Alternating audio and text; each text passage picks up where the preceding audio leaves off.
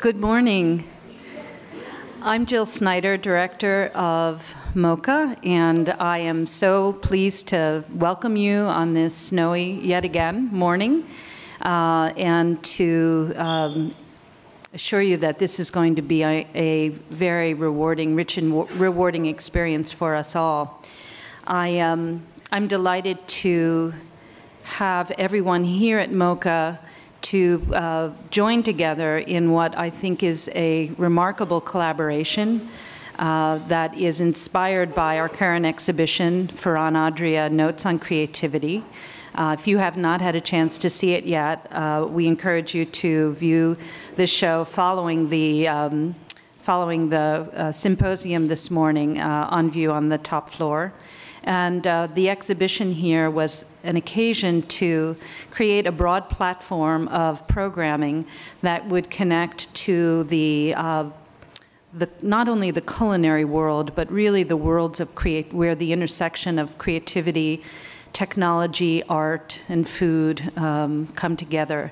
This morning's symposium is uh, just that kind of collaboration um, where we have an opportunity um, with our um, relocation to University Circle to really delve deeply into the rich potential of working with the intellectual capital that surrounds us here uh, and to, to connect the art and ideas of our time, which is really core to our mission.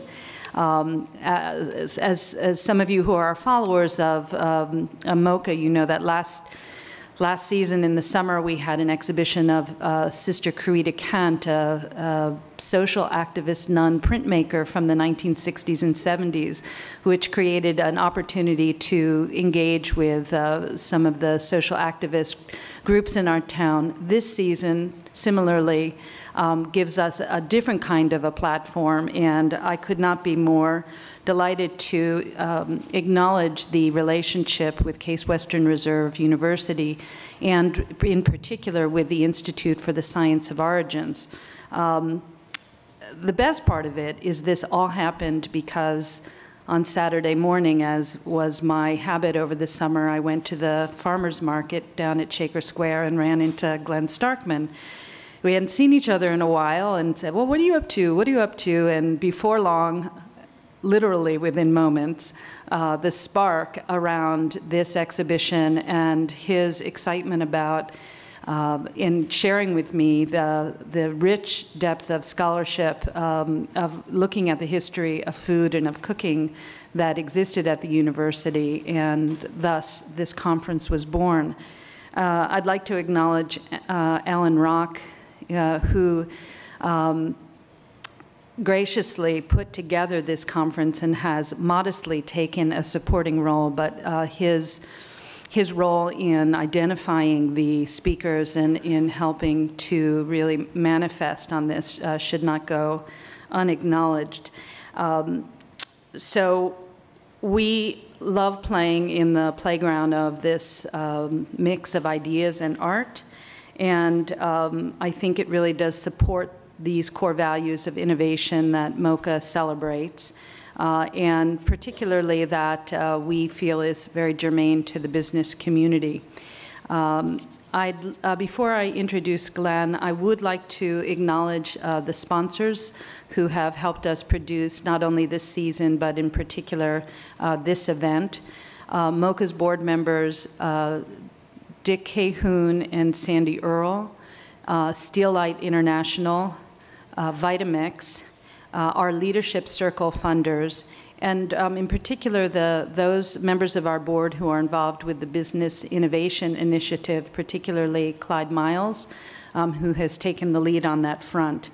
Um, I'd like to now um, invite uh, Glenn Starkman to come up. He is uh, professor of physics and the director of the Institute for the Science of Origins at Case Western Reserve University. How is it that a theoretical physicist is standing in the Museum of Contemporary Art preparing to do, introduce an anthropologist to moderate a discussion among a master chef, a computational linguist, and two historians? The Institute for the Science of Origins is a collaborative project of Case Western Reserve University, the Cleveland Museum of Natural History, and IdeaStream.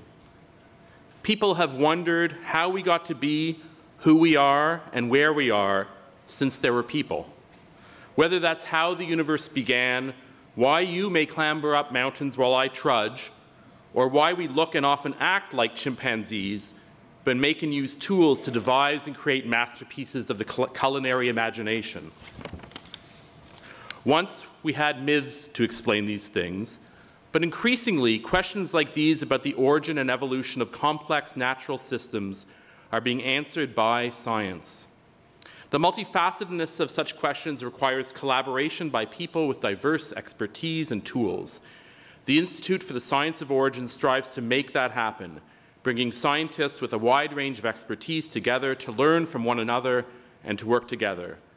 And while they are doing that, they are sharing their knowledge and excitement with the public and crucially training and learning from the rising learning from the rising young interdisciplinary scientists of tomorrow. As director of the Institute for the Science of Origins, I'd like to first thank Chef Adria, our speakers who you'll meet in a moment, and Jill Snyder and the wonderful staff here at MOCA Cleveland for creating the time and space for this multifaceted program in the context of this boundary crossing exhibition and Chef Adria's whirlwind of a visit. And Alan Rocke, who Jill mentioned, the Henry Eldridge Bourne Professor of History, Distinguished University Professor, and faculty in the program in the History and Philosophy of Science at Case Western Reserve University, for working with me and with Patricia Princehouse, Director of the Case Western Reserve University Program in Evolutionary Biology and Outreach Director of the Institute for the Science of Origins, to select and recruit and host the stellar scholars who, whom you will soon meet. But most of all, I'd like to thank you all for being with us today to share in our exploration of the origins, innovation, and imagination of food. To guide us in this morning's peregrinations and to introduce our speakers, I'm very pleased to introduce our moderator, Dr. Eileen Anderson Fye, Robson Junior Professor, Associate Professor of Anthropology, and Adjunct Assistant Professor of Psychiatry at Case Western Reserve University. A specialist in medical and cultural anthropology, Dr. Anderson Fye investigates the well-being of adolescents and youths in contexts of socio-cultural change. Much of her recent research concerns food and eating habits such as body image, eating disorders, and obesity stigmas. Dr. Anderson Fye.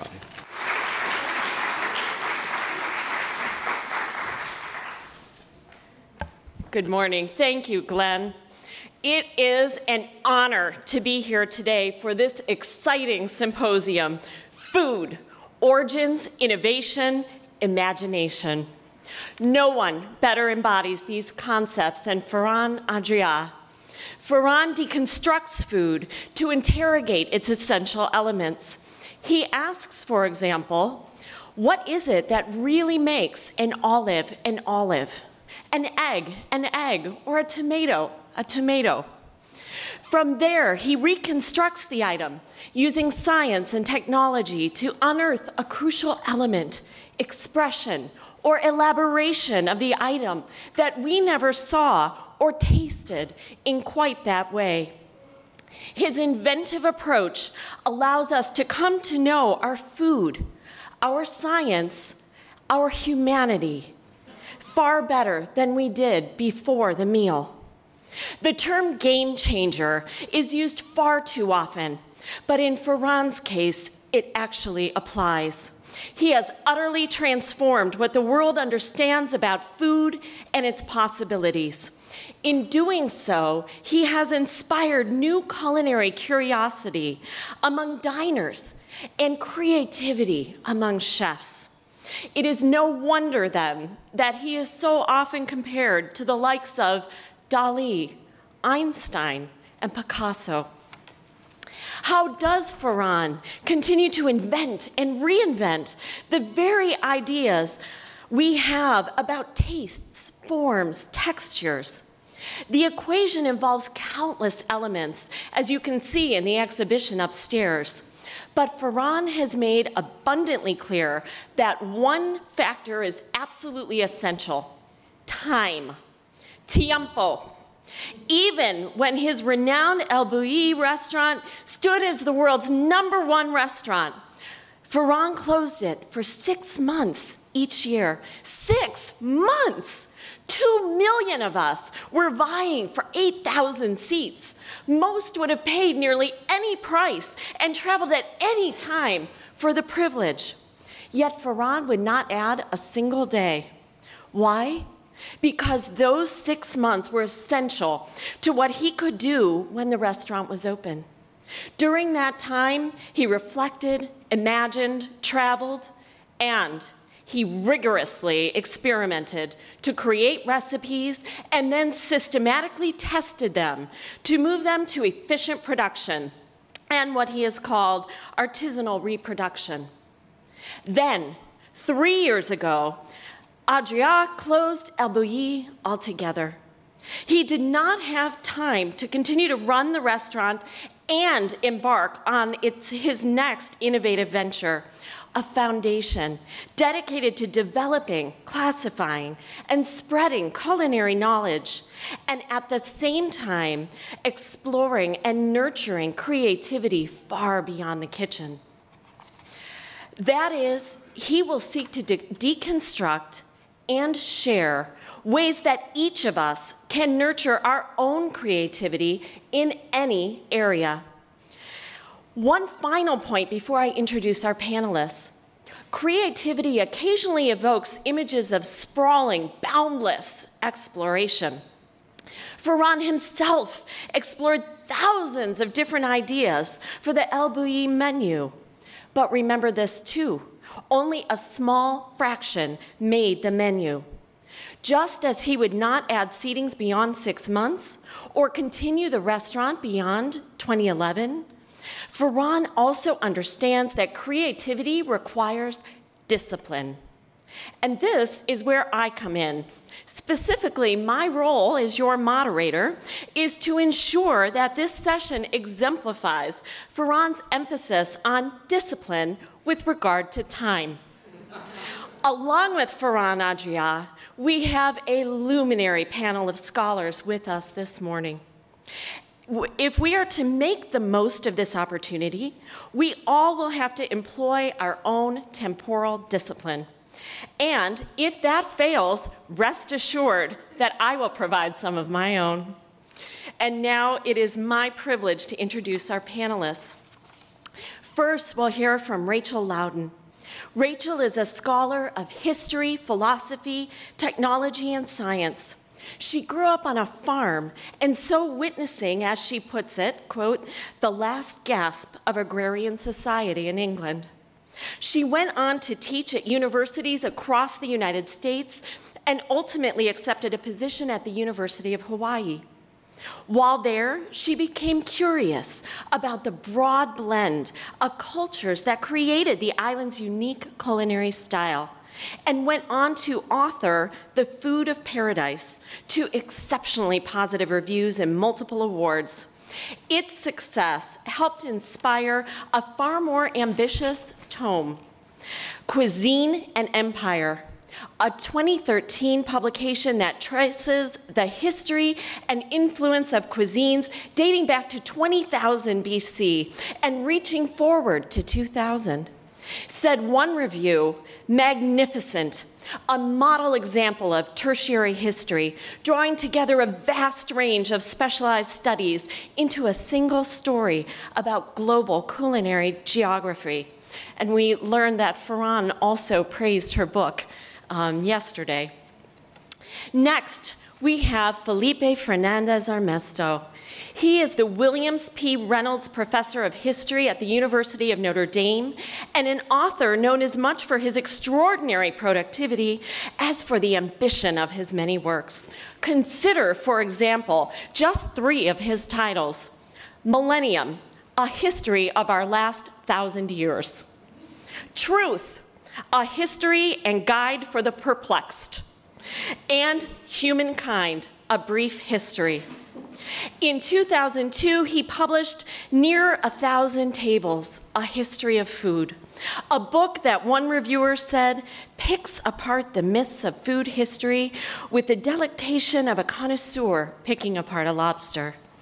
Added the New York Times, his real subject is man's extraordinary powers of invention when it comes to finding and preparing food, and, inventive, and inventiveness he himself documents in our sometimes heroic, sometimes comic, sometimes pathetic quest to improve upon mere survival. And finally, our final panelist is Stanford linguistics and computer science professor Dan Jurafsky who likes to pose such questions as, why do we eat toast for breakfast and then toast to good health at dinner? Dan won a 2002 MacArthur Genius Award for his work on how computers process human language, and then turned his attention to more of the social aspects. Inspired by the response to a freshman seminar about food, he penned this year's immensely popular The Language of Food, and it's not only language, but letters too. In one study with colleagues at Carnegie Mellon, he found that, quote, more expensive menus tended to use longer words, with each additional letter of length correlating to an 18 cent higher price per dish.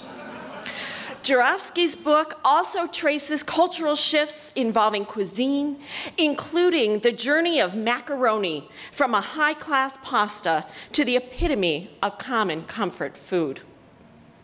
Our own Miss Landau calls Jurafsky's book delightful and adds that she couldn't put it down which offers me the perfect opportunity to note that Rachel, Dan, and Felipe will all be signing copies of their books after, present, after today's presentation.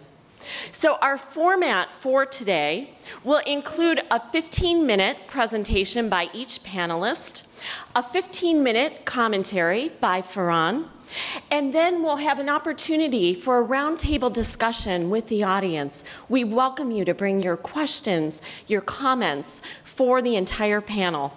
So with that, we'll ask Rachel to begin our presentations. Thank you.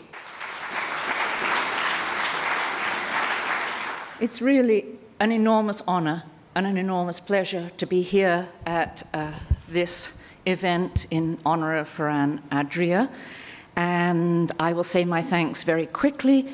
Thank you to MOCA, thank you to the Institute, thank you to the sponsors, and thanks to all of you for turning out on this chilly winter morning.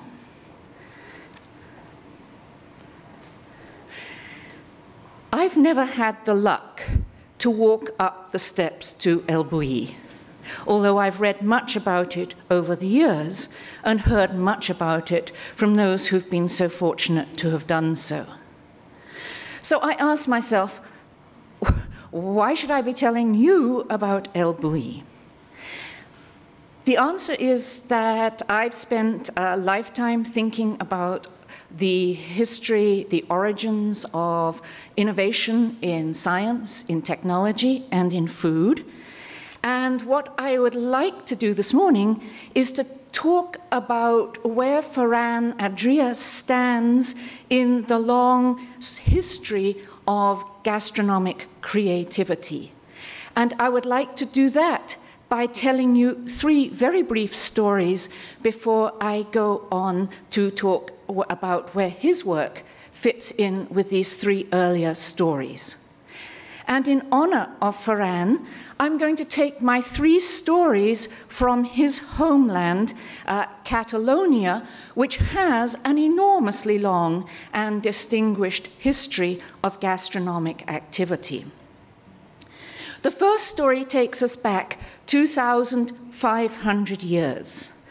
In 500 BC, roughly actually 595, the Greeks founded a colony just a few miles down the coast from El Bulli. You can see the ruins of the city today and of the Roman city that followed it, now called Ampurias.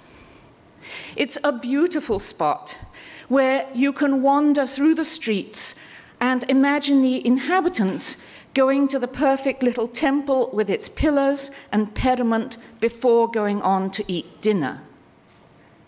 But the reason for the city's existence is actually the small fish, the anchovy, which flourishes where the water from the river meets the sea of the Mediterranean.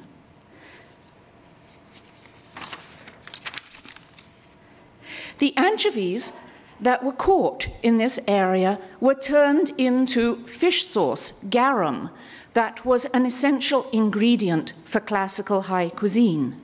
They were placed in stone tanks like these, covered with salt, and in a few days or weeks, the sun and salt turned the little fish into a clear brown condiment. In the science of the day, the Greeks and the Romans thought that just as the sun cooked plants, turning them into fruits, and cooks cooked food, turning them into dishes, so too the sun cooked the fish, embodying them. They're just like the identical fish sauce of Southeast Asia today. This was a great flavor enhancer and much in demand. It was packed into amphorae, specially shaped and sized, graded, sealed, and exported to eager diners around the Mediterranean. And in the great remaining cookbook of antiquity, compiled in the 4th or 5th century AD and attributed to Apicius, it was used in up to 400 different sources. So someone had done the hard work of working out how to use this uh, ingredient. The second story jumps up to about 500 years ago. In that year, the Libre del Coch, the Book of the Cook by Ruperto de Nola, almost certainly a Catalan, although he worked in Naples, was published in Barcelona. And here on this cover of this edition, you can see a cook stirring a pot. He was preparing one of the dishes of the high cuisine served at European courts, perhaps the court of Naples.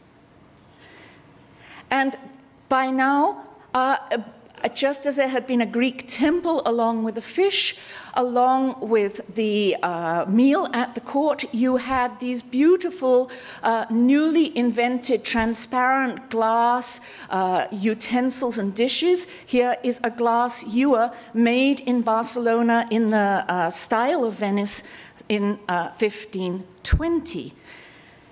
It's beautiful, it's transparent and glowing with color, and Ruperto de Nola talks about this glass in his cookbook. Not this particular ewer, but the kind of glass. He also gives a recipe for membrillo, quince paste. This is a, a, a fruit jelly and you can see that, like the glass, it glows, it's transparent, it's pink, it's molded into exquisite shapes, like this one with a stag. And here we see how the cooks have turned perishable fruit, which normally would just uh, vanish, into a beautiful, long lasting sweet or confection by the use of the most up to date of substances, the most expensive of substances, sugar, which was as much an expensive medicine and pharmaceutical as it was a spice and uh, ingredient in cooking a substance extracted from the most recalcitrant of raw materials, sugar cane, in factories that used heavy presses to squeeze the juice out of those tough stalks, vast amounts of fuel to boil it down, and clay pots to shape it into cones. It was a substance that transformed the dessert kitchen. My third little story, we go up to the beginning of the 20th century. Barcelona was booming, textile mills were whirring, and Gaudi and other modernists were transforming the cityscape with works such as this remodeling of Casa Batlló uh, using reinforced concrete. Well to do diners flocked to Maison Dorée uh, in the city square of Barcelona. And before they went, they sent special orders for the most exquisite of modern dishes, the cannelon as sculptural as Gaudi's remodeled Casa Batlló. society wives flocked to the classes of Escoffier-trained Swiss chef Rondissoni, who taught them how to make a roux, the basis of fashionable bechamel, codified the previous century and now understood by cooks to be a chemical combination. And to buy books such as Culinaria, that helped make the cannelon so popular that it became a necessity for the family table on St. Stephen's Day, the day after Christmas.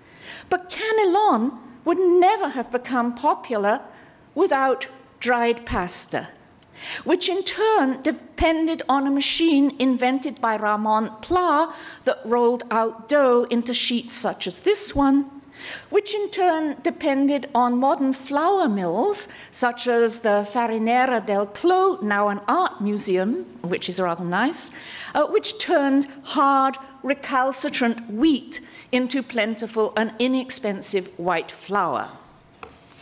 So a pattern emerges Every so often in history, a new technique or a new machine or a new utensil is invented for turning raw materials that had previously been essentially useless into something that people could work with.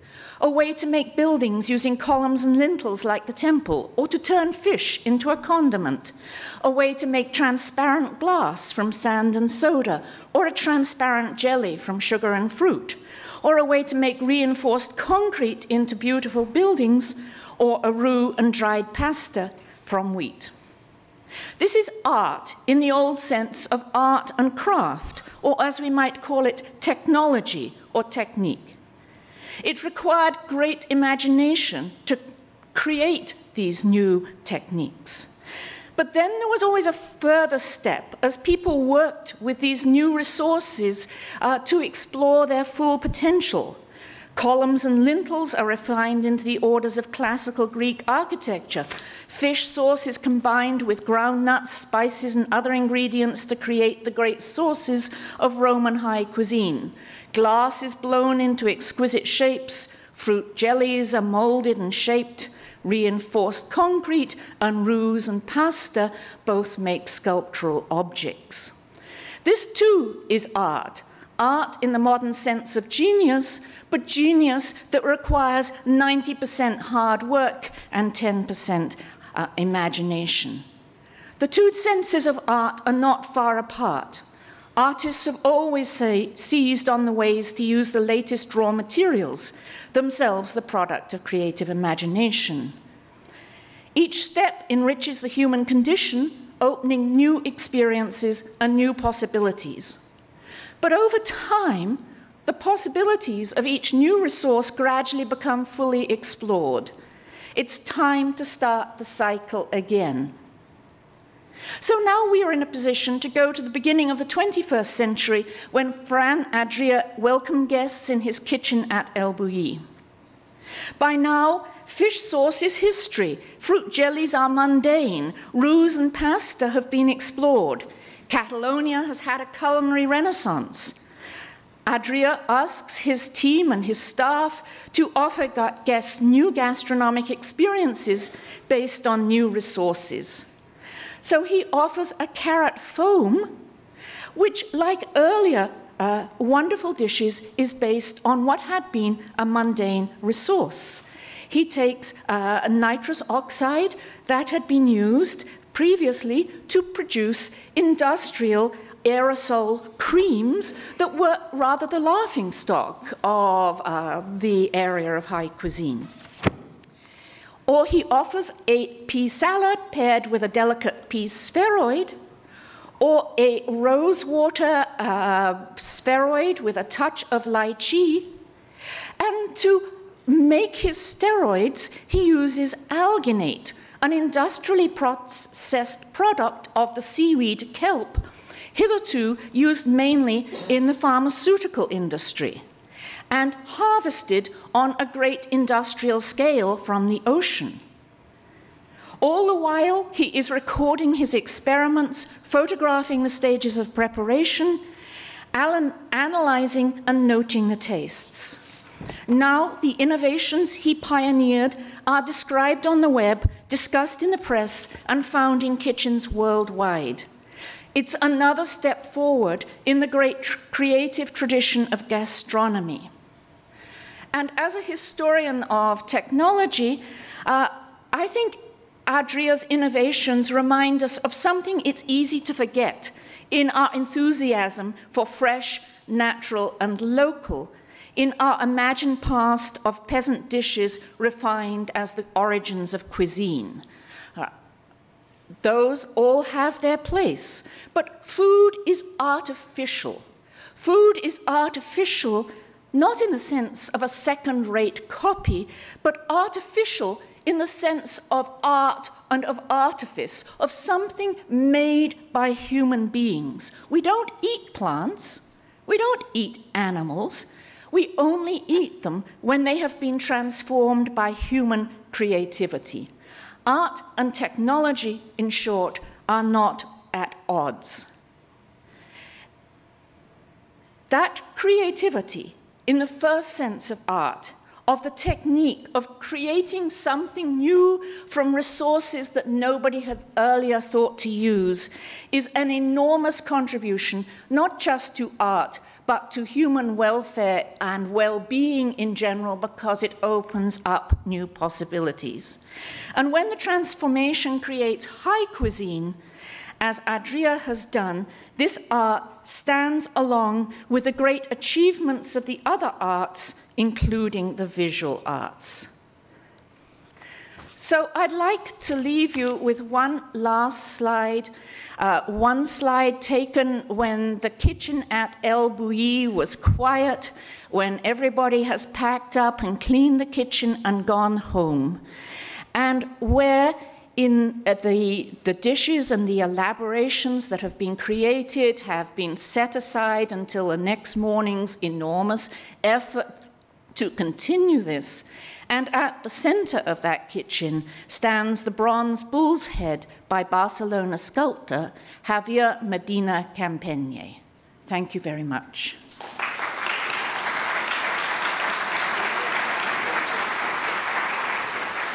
Thank you so much, Rachel. And now we will welcome um, Felipe Fernandez Armesto.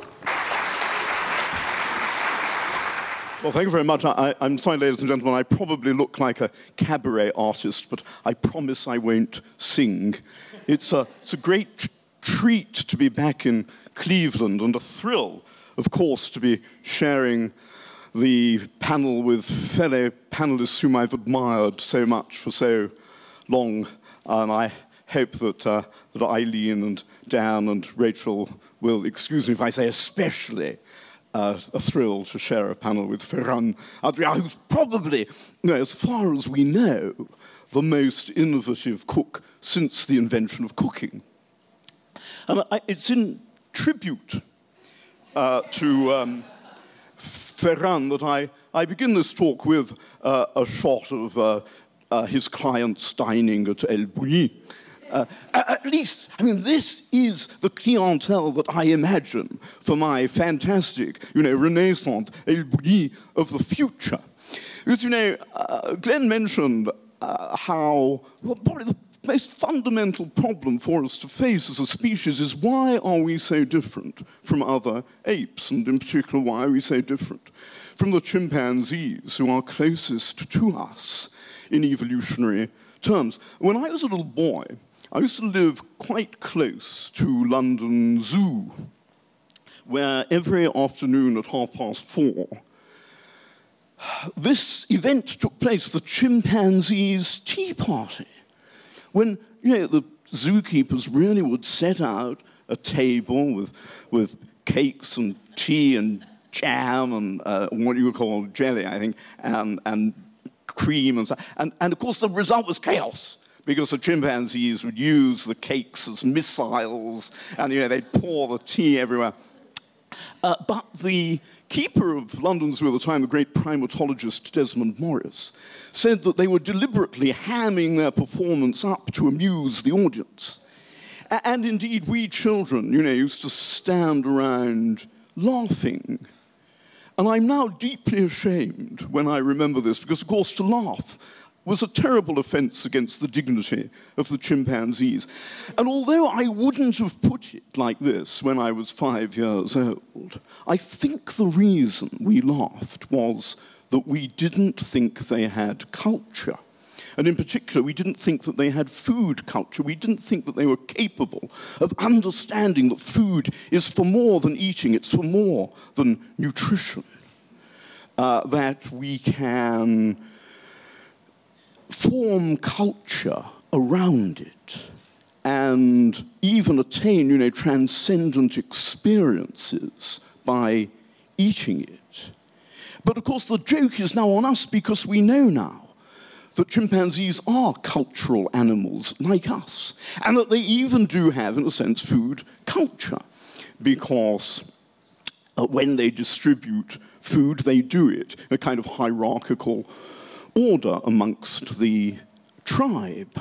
And we would look just as silly and laughable, ladies and gentlemen, at a chimpanzee food distribution ritual as they did at a bourgeois style English tea party of the 1950s. Now, what I want to do in the few minutes that are available to me today is give a kind of account of how our foodways have diverged from those of our fellow primates. And in tribute to Ferran Adrià, who is a revolutionary, is a great innovator, I'm going to concentrate on a few of the most conspicuous revolutions that both illuminate the origins of the way we eat today and explain how uh, our present foodways came about. And you might say um, that the very first such revolution was carnivorism. Of course, chimpanzees do practice carnivorism, but only to a very small degree compared with our own species. Um, at the most, uh, amongst chimpanzee communities that we know about in this respect, they get about 3% of their calories from meat. Whereas humans typically, um, since uh, uh, we have evidence of this in the archaeological record, have had between 30 and 40 percent of their uh, calorific intake from animal foods. So there's a huge difference. I'm sorry, I seem to be. Uh, my, I do apologize for my technological uh, incapacity, uh, ladies and gentlemen. It's partly an effect of age and partly an effect of being educated at Oxford. Um, so, so uh, so carnivorism is our first step, in a way, sense, away from uh, our primate cousins. Um, you could say, I suppose, that maybe really big revolution was the invention of cooking with fire. But chimpanzees and other primates do understand the benefits, the extra digestibility that you get from um, fire cooked foods. After a forest fire, they'll typically you know, sort of roam around and pick the roasted bugs out of the, the um, embers. And of course, as Ferran well knows, fire is not the only medium for cooking. You know, you can, you can prepare food, you can add to its digestibility and even its palatability by drying it, by sticking it in the wind, by burying it, by macerating it, even, you know, just by leaving it to rot for um, a while. But I certainly think, you know, that cooking with fire is really a big differentiator uh, between us and our primate uh, cognates, partly because it solves the big evolutionary problem that we as a species don't have. You know, we don't have uh, the kind of jaws and talons that our cognate and rival predators have. Uh, and above all, we, we really kind of, our big evolutionary problem is that we just don't have enough stomachs. Yeah? Uh, the Empress Theodora is said to have regretted that she didn't have more sexual orifices. Well, ladies and gentlemen, I think she had plenty, you know, for any normal purposes. Um, but, but we could definitely do with more stomachs because you know, it's our inability to ruminate that confines us to a very limited range of vegetable foods. Our, I mean, our, our, our lack of stomachs compared with our weak jaws and teeth and talons. And now cooking has solved that problem for us. It's made the, a great range of foods available uh, in the vegetable world, made them available to us to, to eat. And, and the further way in which cooking has transformed us, of course, is that it's given us a new cultural focus. Now, of course, Latin focus literally means hearth. And it's when people began to gather around the fire to share meals that I think you know, the kind of distinctive cultures that characterize humans and distinguish us from other animals began to take shape. Uh, the third great revolution, that great discovery, is the discovery that food is for more than eating. And I think I'd add, I mean, I very much endorse what Rachel just said in her admirable talk, but to her emphasis on art and technology, I'd kind of add magic. Because, you know, food has a transmutative power. It very obviously, you know, transforms our bodies. I mean, it's made me very fat. Um, it transforms our health, but it can also have, you know, moral and spiritual effects. And I think the great breakthrough here that our hominid ancestors made that distinguished them from the evolutionary tradition that produced other apes is cannibalism. Now, that's why I show you this great allegory of cannibalism by Ferran's uh, compatriot, uh, Salvador Dali.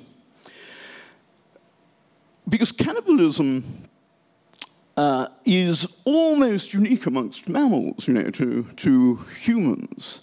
Uh, very few, few other mammals that practice it. Chimpanzees do, but only in very limited circumstances, whereas for humans it's a really distinguishing feature. You know, under the bone, under the stones of every civilization, you will find the bones of cannibal feasts. We don't know of any human society that doesn't have cannibalism somewhere in its past. And in my submission, the reason for that is not nutritional, but moral. Overwhelmingly, cannibal societies eat people in order to appropriate their moral qualities or in order to celebrate moral values. Here is Beth Conklin, famous anthropologist, preparing to feast with the wari. And if she looks a little nervous, ladies and gentlemen, that's because these people are cannibals. They practice funerary cannibalism. They eat their dead in order to dispose of them decently so that they're not mangled by worms or consigned to impious flames. So, you know,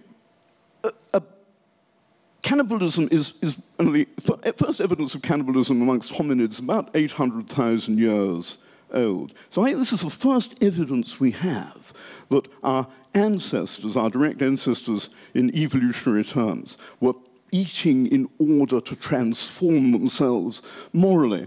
And of course, you know, this means, if I'm right, that the reason why cannibals are cannibals, cannibals is the same reason as most vegetarians are vegetarians. Because you know, most vegetarians justify vegetarianism in terms of its morally improving qualities. And of course, you know, one can multiply these examples of transformations. As Sylvester Graham's treatise, you know, he thought that uh, you could, uh, certain foods would make you chaste um, and you know, think about the transmutative magic of turning wheat into beer. You know, amongst the transformations that Rachel um, mentioned, I'd add this one as really critical because this is turning you know, these, these ears of grain into a potent entree, into a psychotropic world in which you can have you know, visions and, and great experiences, something which affected me deeply last night when I arrived in Cleveland too late on a Sunday night to get a drink.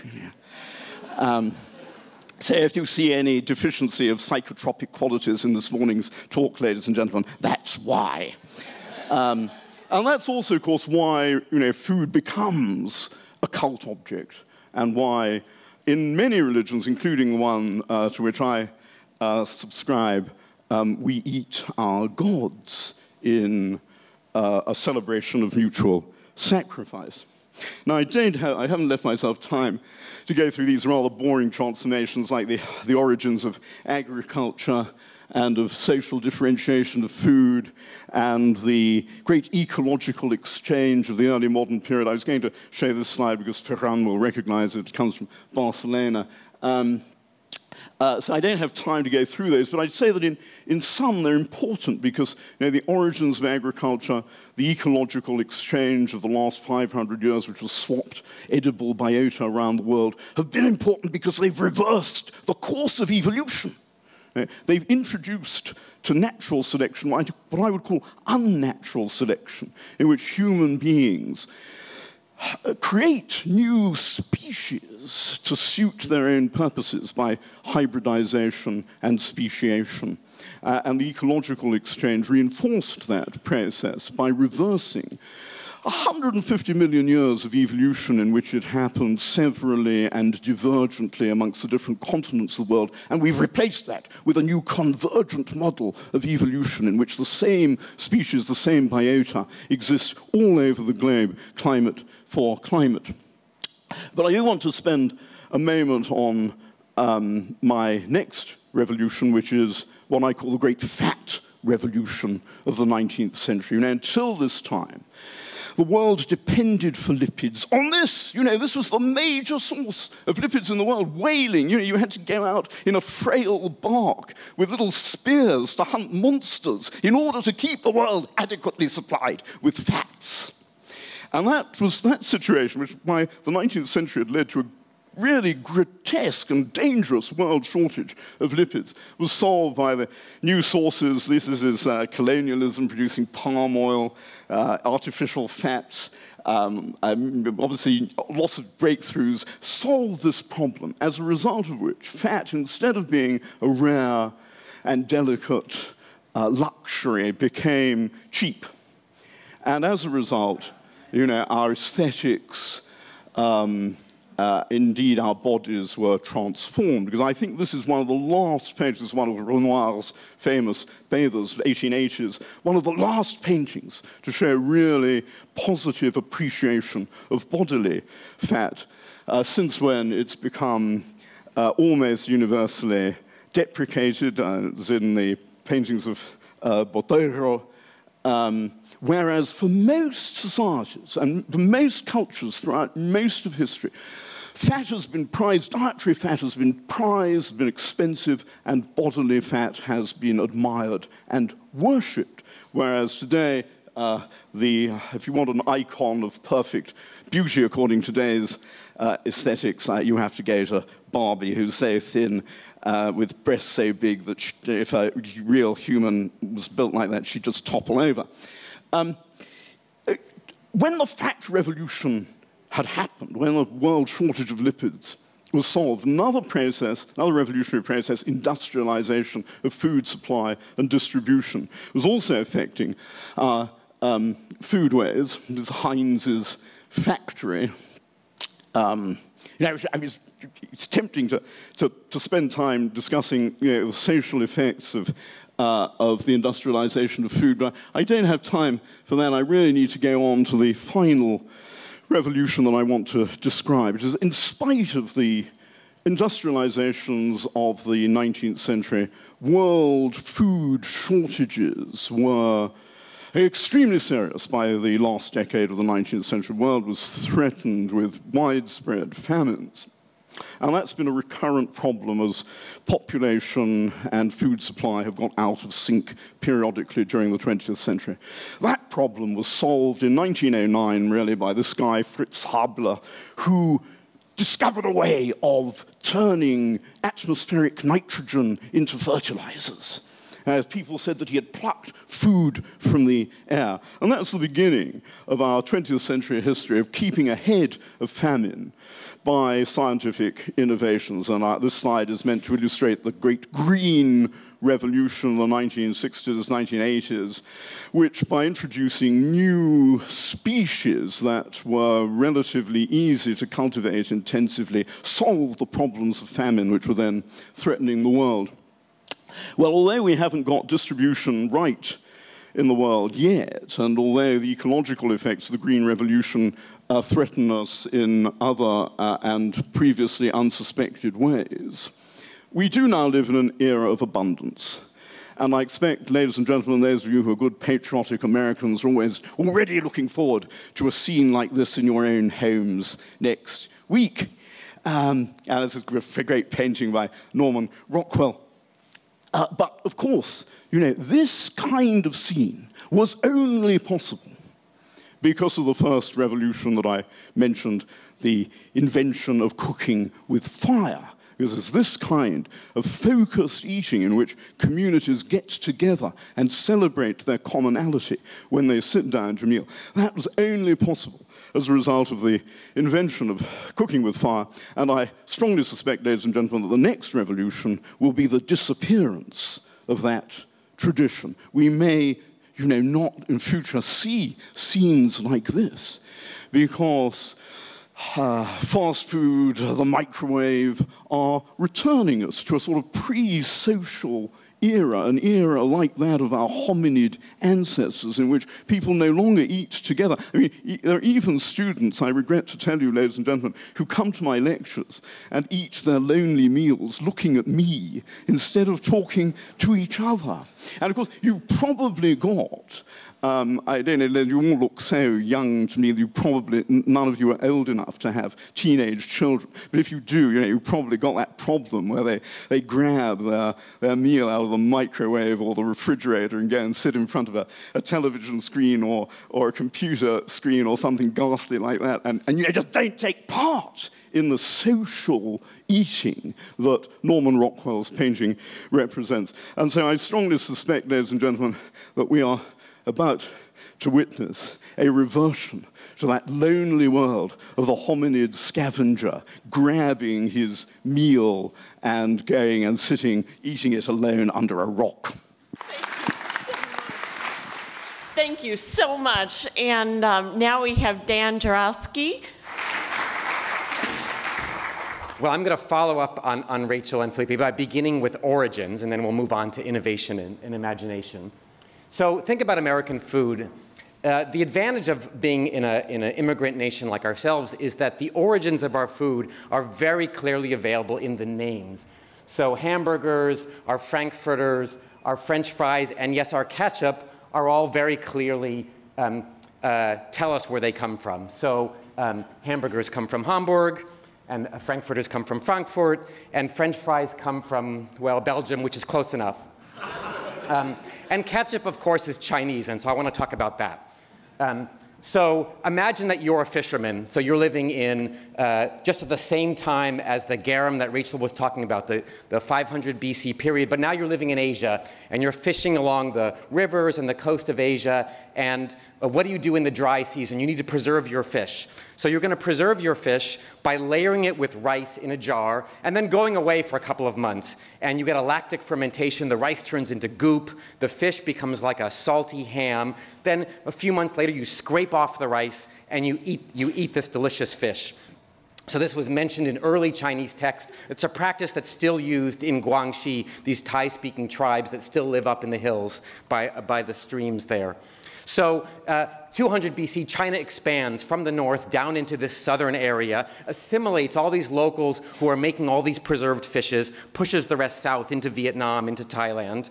And um, and these fishes spread around. So, for example, this exact fish spreads to Japan, this idea of layered fish and rice, where the fish goes bad and that preserves, the, the rice goes bad and that preserves the fish. And that becomes the ancestor of sushi, this narazushi. And then slowly, over time, an innovation happens. So now I'm going to talk about innovations. The innovation is instead of letting the rice go bad, we could use fresher rice and just add vinegar and get the same kind of sour flavor and also preserve the fish a little bit. And then by modern times, we have refrigeration. Now we can have completely fresh fish. So the recipe is completely transformed into modern sushi.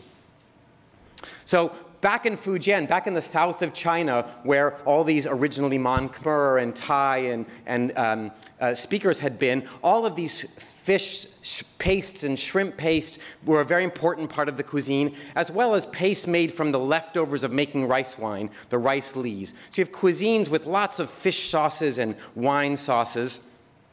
And further south, as these people have been pushed south, you get the development of these beautiful fish sauces, just like the European garums of the 500 BC. We have the early evidence for these beautiful fish sauces, like the, the Vietnamese and Thai fish sauces we eat today. There's a picture of me um, at, at, a, at, a, uh, at a uh, fish sauce factory um, in Vietnam. Now, Fujian, this, these south, southern provinces of China, Fujian is a southeastern province of China, cut off by mountains from the rest of China. And so the region is linked to the sea. That's where the, uh, the world's largest seaport was in the Middle Ages. This is where Marco Polo sailed back to Persia from Fujian. And, and sailors from this region, Fujian and the southernmost region, Canton, sailed throughout Southeast Asia bringing fish sauces from Vietnam and Cambodia and this fermented red rice that they were using in various cookings all around the Chinese settlement of Southeast Asia, propagating throughout uh, Malaysia and, and what's now Indonesia and the Philippines. Now, we're at 1600. You're a British sailor, and you're sailing to Asia because that's where the money is. That's where, that's where um, industrial production is. That's where the uh, porcelain and silk and tea and, um, and uh, what do you drink on these long voyages? Hops haven't been invented yet, so beer goes bad, or it's been invented, but the British don't have it. So beer goes bad, and the wine is stored in these leaky casks. The wine goes bad. So they arrive in Indonesia, and they find ethnic Chinese in Indonesia. What are they making? They're making arak. Arak is the first largely uh, commercially produced distilled alcohol. So um, it's made from this same red, red rice wine that they use to flavor the dishes. And um, the British are very excited because arak does not go bad with the heat the way wine and beer does. Distilled liquor, when you can add it to water, it purifies the water. It's fabulous. So the British Navy buys thousands of barrels of this arak, And while they're there, they pick up some of this um, fish sauce that the Chinese are making. So this arak, they turn that in fact into the world's first cocktail, punch, by adding limes they're using to prevent scurvy. And they buy this fish sauce on the side.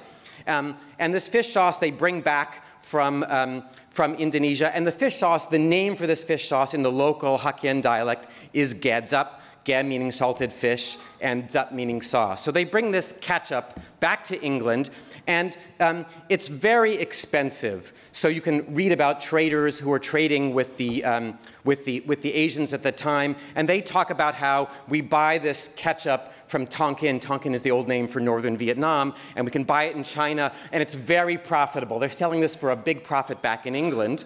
So what do you do when you have an expensive imported luxury?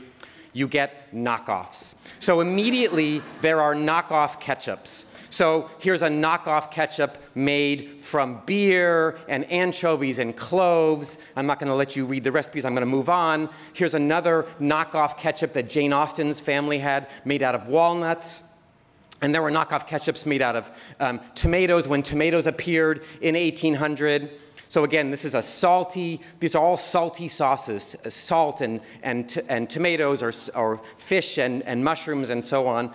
Um, so we can think of this whole series of innovations. We start with anchovies, we move on to mushrooms, and then walnuts, and then somebody thought of adding tomatoes, and then somewhere around 1850, the anchovies disappear, and people began to add sugar, especially in the United States. We have a sweet tooth and a taste for the taste of tomatoes and sugar is a very American kind of combination. And so we began to add a lot of sugar, and what, what ketchup became, our modern ketchup, is really a, a tomato and sugar chutney. It's a sweet and sour sauce of tomatoes, completely different than the original fish sauce. So a series of innovations.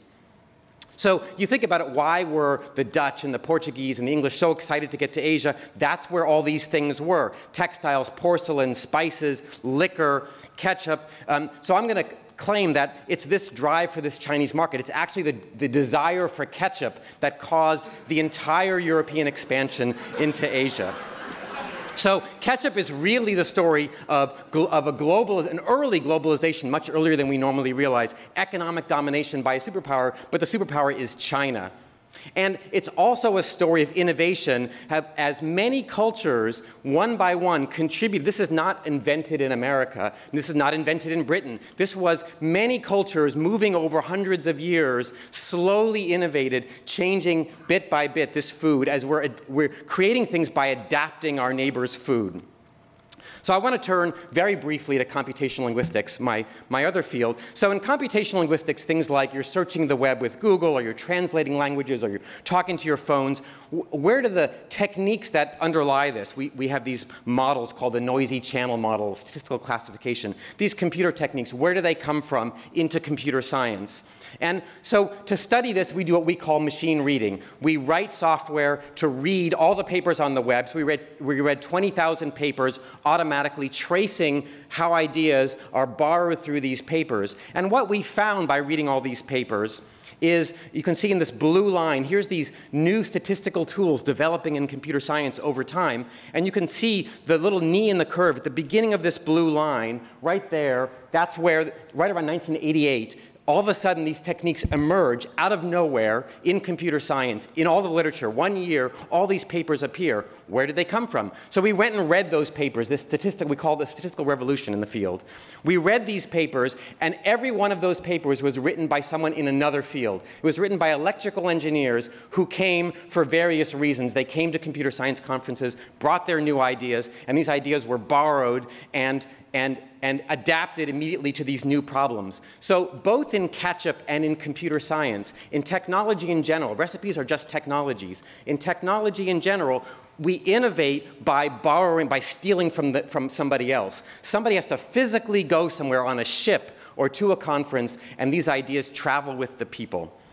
So I want to conclude by just giving you a few um, examples of applying these ideas of computational linguistics now to study food in a different way. So for example, we looked at online menus. We wrote software, we scraping from the, from the web menus for 6,000 restaurants and asked, for example, how do expensive menus differ from cheap menus? So one difference is who the menu is talking to. The more expensive a menu, uh, the cheaper the menu, the more likely they are to talk about you, the consumer. So they'll have the word you or your choice or any way you like it. That's a cheap menu. An expensive menu is not talking about you, it's talking about the chef. An expensive restaurant is really, it's an innovation. It's trying to, to um, it's like theater. The chef is, is giving you something new. And so the expensive restaurant is talking about that gift the chef is giving you. So you can tell this just by looking at the words on the menu. Expensive menus are also very short. So here's an example. The, um, I've shown you a little graph here by along the x-axis is price of restaurants, and along the y-axis is how often the restaurants use words like crispy or fluffy or golden brown, these just beautiful descriptive words. And what you can see is it's the lower middle priced restaurants that especially use these words. Your expensive restaurants don't talk about crispiness or fluffiness. They have short menus, sometimes no menu, with very short descriptions. And why is that? Why would I say the word fresh? Language is logical. If I say fresh, there must be a purpose. The purpose of saying fresh is to convince you, the listener, that something is fresh. Why would I need to convince you? If I'm trying to convince you it's fresh, maybe you don't believe it's fresh already. That would be very bad if I'm in expensive restaurants. So we just leave off that altogether. So, um, oops dropping things here everywhere. Um, so uh, again, we can see the, the attitudes of of economic class just in the words used on the menu. So fancy restaurants instead are going to use fancy words. So you might have foreign words, you might have very long words, um, and um, indeed, uh, um, as Eileen told you earlier, every time you add one letter to the average word length, the price of the dish goes up 18 cents. So we can actually build these computer models to predict the price of dishes. Um, finally, I want to talk a little bit about restaurant reviews. So here's a bad review of a restaurant on Yelp. So we looked at a million of these bad reviews, again, automatically. And I want you to notice that the food is not mentioned in this review at all. This is a review, it's all about the service. So um, the language of bad reviews, bad reviews have these uh, negative words, horrible, awful, they're always in the past tense. So they have words like waited, didn't, was, past tense. They talk about other people, he, she, and um, waiters and customers and managers. And interestingly, they use the first person plural. So they say we or us or our. So what, what, what other kind of genre of language has past tense narratives about other people that are negative and lots of use of plural? Turns out there is such a genre. It's the genre of people who've been traumatized. So if you look at the literature of people who've been traumatized, people who wrote blogs after 9-11 or who were students and there was a campus tragedy, they have this exact same language. They write in the past tense, this, uh, this bad thing happened in the past, but it happened to us collectively, so we're gonna get through it together. That's the use of the we. Um, so one star reviews, when people are unhappy with a restaurant, it's, it's a, not about the food, it's because someone was mean to them. So there's a lesson there in the reviews. It's not just about the words. We can learn that, that really food is about personal interaction. And when we get that wrong, people are very upset. Now, when people like a review, like a restaurant, um, they talk about sex. So um, orgasmic pastry, or my very favorite is very naughty deep fried pork belly but only in expensive restaurants. The more expensive the restaurant, the more likely you are to talk about the food using the metaphor of sex. When it's a cheap restaurant, instead you use the metaphor of drugs. So you say, I'm addicted to the wings, or the French fries are like crack, or um, I crave, crave is very important, crave the cupcakes. Um, the cheaper the food, the more likely you are to talk about the food as a drug. So why is this? These are junk foods, foods we feel guilty about eating. We're feeling guilty about eating these foods. So we, we say, well, it's not my fault I ate this, this French fry. It's, it's a drug. It forced me, it's forced itself down my throat. You know, I'm, I have no control. And indeed, women who are presumably pressured more than men to, to conform to societal norms about healthy eating, they're more likely to talk about, um, the, uh, use drugs as a metaphor for the food more than men.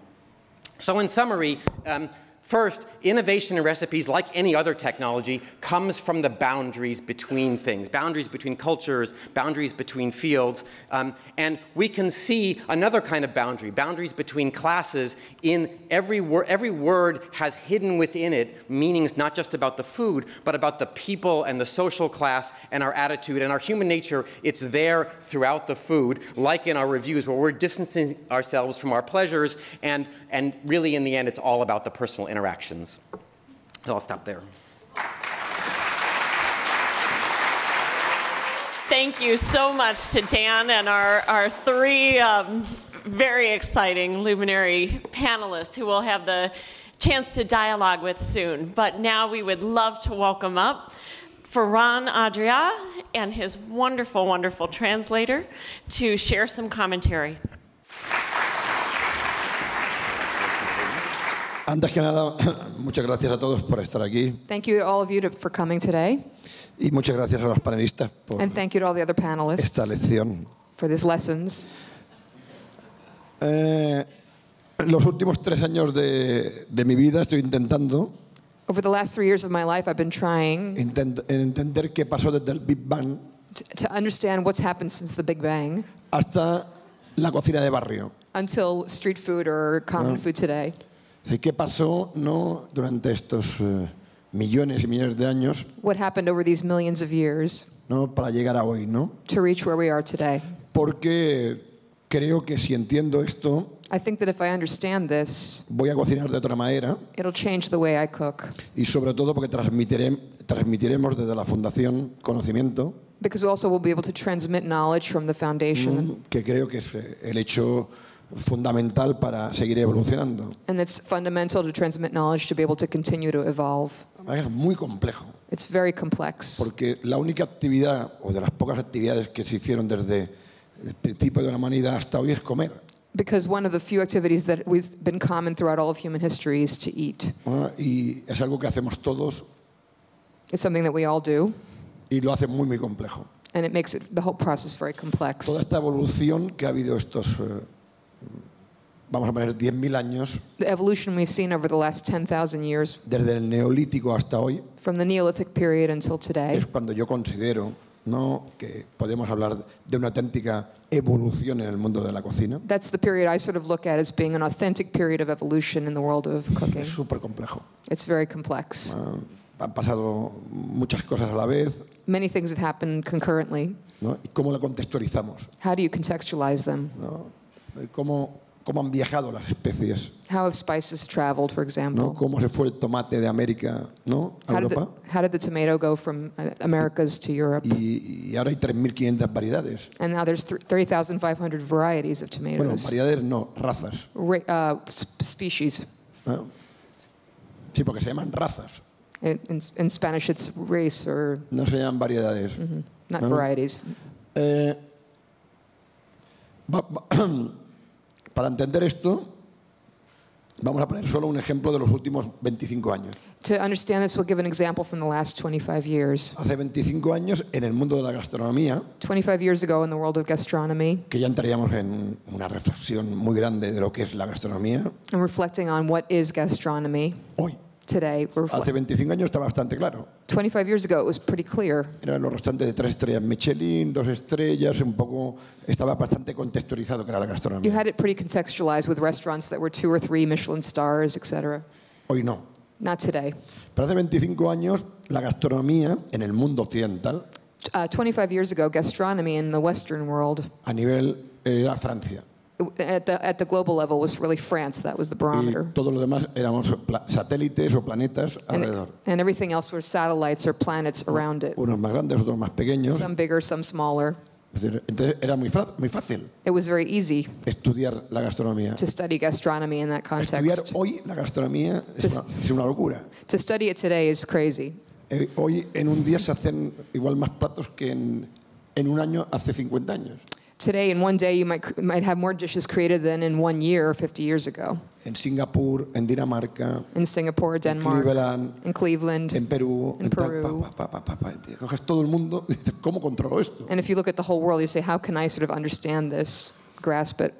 Eh, en, en el año 94, In 1994, libros de gastronomía fuera de Francia habían poquísimos. there were very few gastronomy books outside of France. Era muy fácil estudiarlos. It was very easy to study them. ¿No? Hoy hay miles y miles de información en Internet. Today, there's thousands and thousands of, of sources on, on internet as well. Eh, casi no había ningún diálogo con Asia. There was almost no dialogue with Asia. Yo And creo, y es una opinión personal, que la gastronomía solo existió en Asia fuera de Europa. Uh, I think that uh, gastronomy in Asia just existed.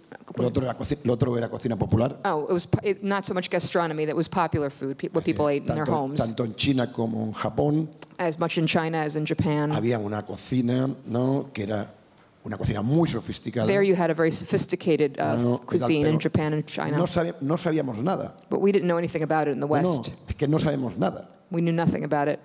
Claro, la mayoría de personas de la gastronomía, la pregunta es cómo empezó la cocina Kaiseki If most people in the world of gastronomy were to ask them, how did kaiseki food begin? y te, te miran como, ¿esto qué es? They would be like, what is that? They'd look at you strangely. Eh, en el- conocíamos muy poco de las cocinas populares, no Back nos then- importaba. We didn't know a lot of the popular cuisines back then. It didn't matter to us. A la gastronomía, que era la cocina mexicana, que era la cocina vietnamita, que era la cocina... eh, What was Mexican food? What was Vietnamese food? Sort of the, the daba- populist food. Nos daba igual. It didn't matter to us then. Pues no entendíamos que de allí originó, se origi- originó todo. We didn't understand then that that was those places were the origins of everything we're doing. No, no.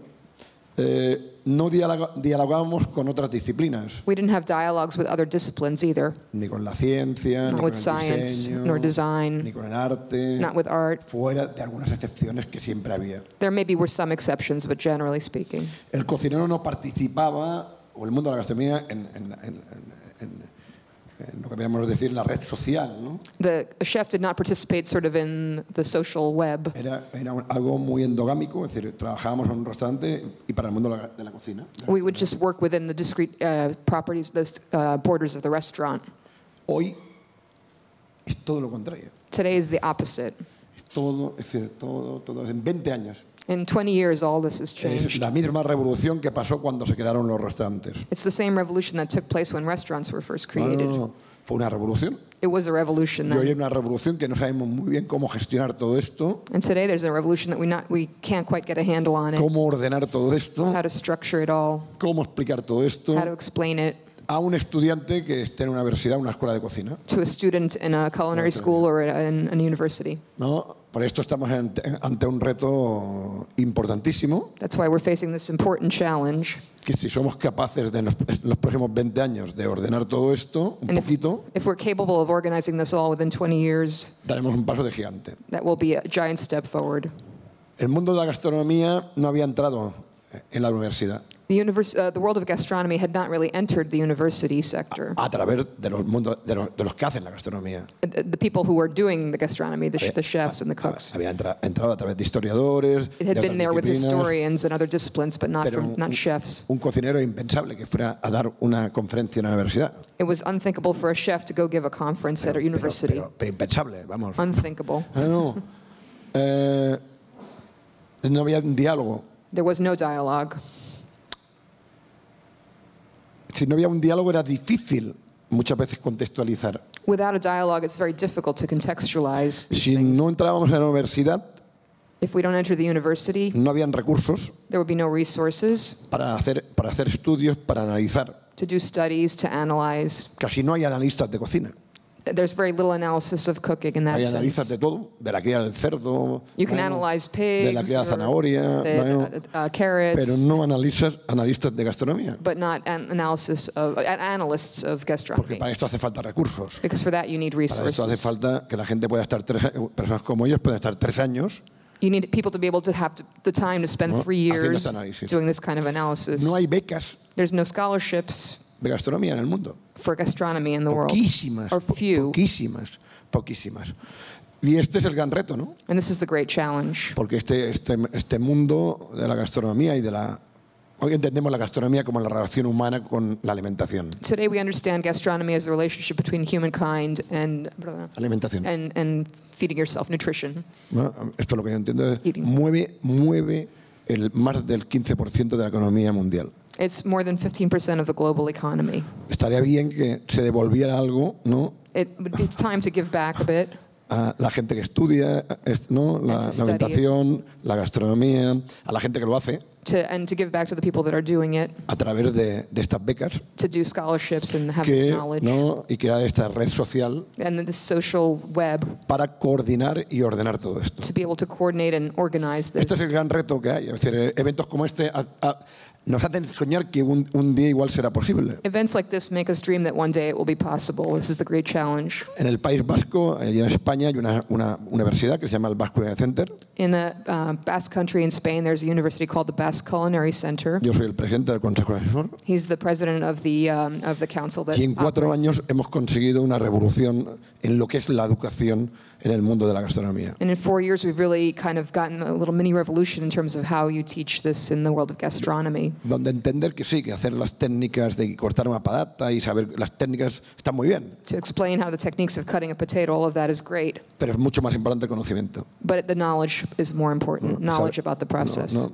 Entonces yo creo que estamos ahí, en, estamos en una revolución, We're in the middle of a revolution now. ¿no? Eh, nosotros desde la fundación lo, lo que queremos hacer, desde el Bully Foundation y de- sobre, desde el Bully Lab, From the uh, point of view of the Bui Foundation and the Bui Lab, what we want to achieve poner, eh, crear una taxonomía, is to create a taxonomy, un orden, an order, para que todo el mundo podamos hablar el mismo idioma. so that we can all speak the same language. En el mundo de la ciencia se utiliza el latín, In, in the world of science, we use Latin, para que la gente que estudia ¿no? pueda, so pueda people who study entenderse. that, they can understand that shared language. En la cocina no hay un lenguaje común. There is no common language in the world of cooking mucha- and cuisine. y sobre todo no hay un lenguaje eh, eh, reflexionado There's not a, a, a language that we've reflected on, sobre- ¿no? y estudiado sobre lo que sería la- la- el cocinar. and sort of looking at what it means to cook. Ahora he visto varias veces la palabra salsa. I saw the word sauce many times. ¿Qué es Salsa. una salsa? What is that? Que no, cuidado, no confundamos salsa con condimento. We don't. We shouldn't confuse sauce with condiment. Bueno, son dos cosas diferentes. They're different things. ¿Y ¿Desde cuándo hay salsas? ¿Desde cuándo hay salsas? From when did, when did sauces originate? When y- do we have them from? ¿Y desde cuándo están conceptualizadas las salsas? And since when do we have this concept of a sauce? Porque una cosa es que existen y otra cosa es que se conceptualicen. Because one thing is for it to just exist, and for, then for another thing for it to be conceptualized. La minifalda la creó Maricuén, Uh, Mari Wen uh, created the miniskirt. ¿no? No, No. la conceptualizó. No, they uh, conceptualized it. Los romanos y los griegos ya llevaban minifaldas, The ¿sabes? Romans and the Greeks were already wearing miniskirts a long time before that, pero eran un poco diferentes, ¿sabes? No, but they were a little different. ¿no? eran peludos, ¿sabes? No. They were hairy. Entonces, eh, este es el gran trabajo que hay. this is the great work we have. No hay clasificaciones, por ejemplo, de productos en, en cocina. There's no classification of products in the world of cooking. Hablábamos con, con estos señores ayer. We were talking with these panelists yesterday. No hay un libro There's not one de single book referencia that's a main reference para explicar a los estudiantes la historia de la, co- de la gastronomía. to explain to No hay. students uh, the history of gastronomy. Puede haber uno, no hay algo consensuado que digamos, esto es lo que, lo que tenemos que eh, explicar. There's not one book that's sort of the, the result of a consensus that says this is exactly what we need to explain. Porque además tiene que ser finito, porque esto es infinito. And, and, and the, the challenge is also that books are finite and the subject is infinite. Pero además, ¿cómo lo explicas? But how do you explain it though? ¿Qué also? explicas? ¿La historia del tomate Do o de la tomatera? Do you explain the history of the tomato or the tomato plant?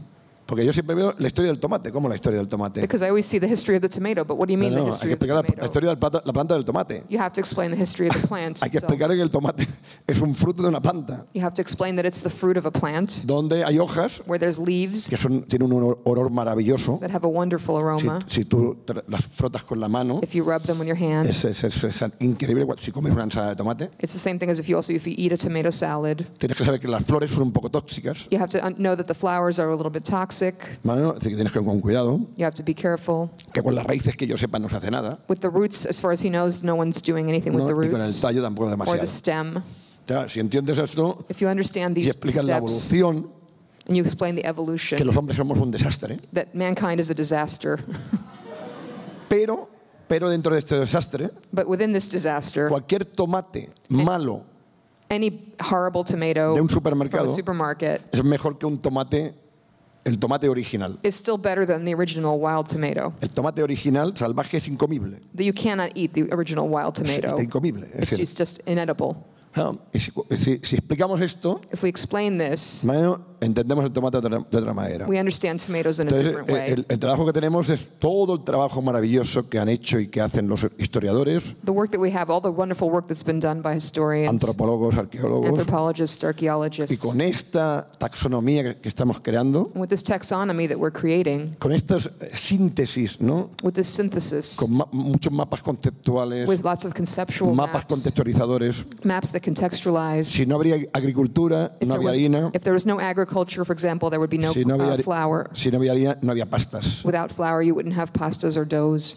Y, una- y si no había pastas, no había tortilla mexicana ni había pan indio. Without pastas, you wouldn't have Indian bread or, or uh, Mexican tortillas. Y esto, ¿no? Y le explicas que el agnolotti y la empanada es lo mismo. And explaining that, for example, agnolotti and an empanada are the same Es una pasta con un relleno, It's a pasta with a una filling, forma medio circular, sort of circular form, una hervida a, a boiling, y el otro, boiling point, y el otro asada o frita. and then either fried or uh, roasted or baked. Un mapa contextualizador donde pongas una cazuela de barro You can put in a contextual maps, uh, earthenware y veas todas las técnicas que se hicieron posibles gracias a eso. and you could see all the techniques that were made possible by an earthenware No se, container. no se podía hervir. You couldn't boil before that. Ah, Si podías ir a Islandia, a un geyser, You could go to a geyser in Iceland, maybe, but o una tripa de, de animal, pero, no Or puede- an animal ah, tripe, pero, but- pero hervir o freír but to fry and o to boil estofar. or o- stew, Te- te- yo creo que estamos en un reto eh, maravilloso it's a wonderful challenge. y este, eventos como este, And having events like this, donde se considera la cocina como cultura, como where lo we, que yo look creo que at, es, where we look at cooking as part of culture, which I believe it is, tampoco hay que magnificarlo,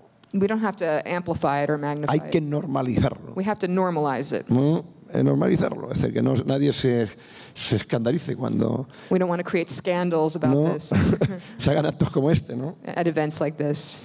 Eh, yo creo que, que en este caso, y, y además es un reto muy importante con el reto que está, eh, eh, con, el, con el reto que tienen las universidades hoy, ¿no? It's uh, joined with the challenges that are facing universities today. Con las nuevas tecnologías todo el mundo se está planteando cómo van a ser las With new universidades. technologies, people are trying to sort of uh, figure out the future of the university. What is, what is it going to look like Yo in the tengo, future? tengo la suerte de dar clases en Harvard. I'm very lucky and fortunate to give classes at Harvard. Bueno, y, no es que de- no- y, y me ha servido sobre todo para aprender mucho cómo funcionan las universidades americanas. it, it served me very well to learn how American universities function También voy al MIT and also done work at MIT.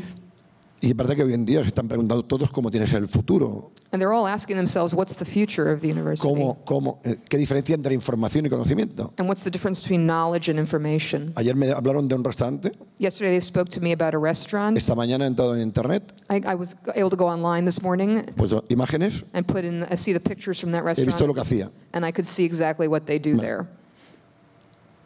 Como soy cocinero, As a chef, he hecho un análisis rápido. I, I was able to analyze those images Pero vosotros, si quickly. no- los que no sois cocineros, no, Those- po- no podríais hacer un análisis rápido. Those of you who are not chefs might not be able to analyze it quickly like that. ¿vale? ¿Y dónde iría a buscarlo?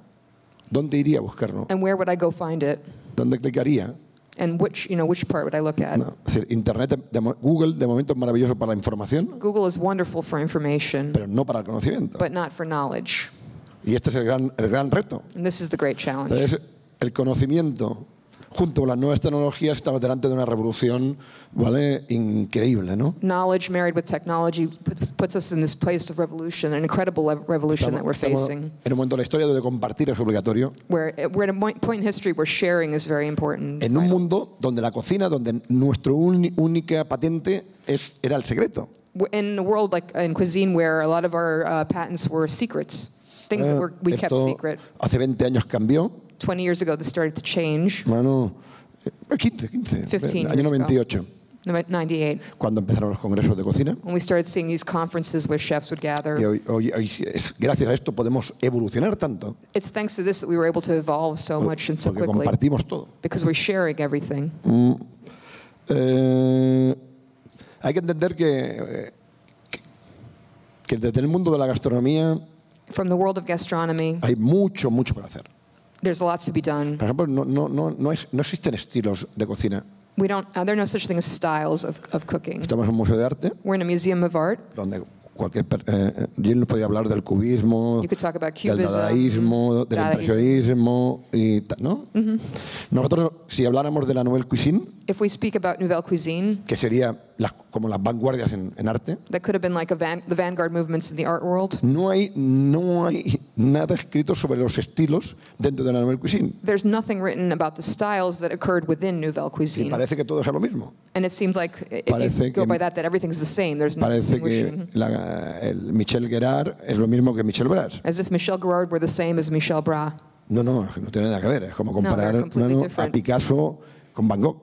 and uh, Garceau with Picasso con Van Gogh. uh, uh, Picasso with Van Gogh. Sorry. Entonces, ¿cómo se ordena todo esto? ¿Os figuráis que en el arte no existiera? Uh, Imagine how you structure this. Imagine if this kind of comparison didn't exist in the art world. Jill y el Moca tuviera que ordenar, poner todo esto. And if Jill and the folks at MoCA had to sort of structure all these movements in the El art world trabajo and enorme. catalog, catalog them, ¿no? it's Estamos, en, work. estamos en todo esto, ¿no? Entonces, por un lado, cuando a veces me pongo a pensar, digo, "Uf, me voy a las Maldivas de vacaciones, When I stop to think about it, sometimes I say, I better go to the Maldives on vacation. pero cuando vemos lo que nos queda por hacer es el challenge. when we see what's ahead of us, what's to accomplish, it's the great challenge. Porque hay otras disciplinas mucho más maduras Because there are other disciplines that are much more mature que no tienen esta excitación por hacer. that don't have this sort of drive to do this. Y nosotros hay mucho por hacer, ¿no? And then we have so much to do ahead of us. Bueno, creo que ahora, eh, ¿no? Ya no hemos- We have two microphones on either side for people who want to queue for questions.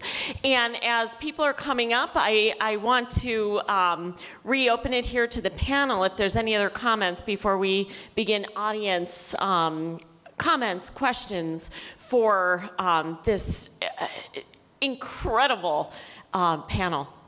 Do you have anything uh, right now more to, to speak uh, to each other about? So we'll open it up if people want to come up to the microphones to ask their questions.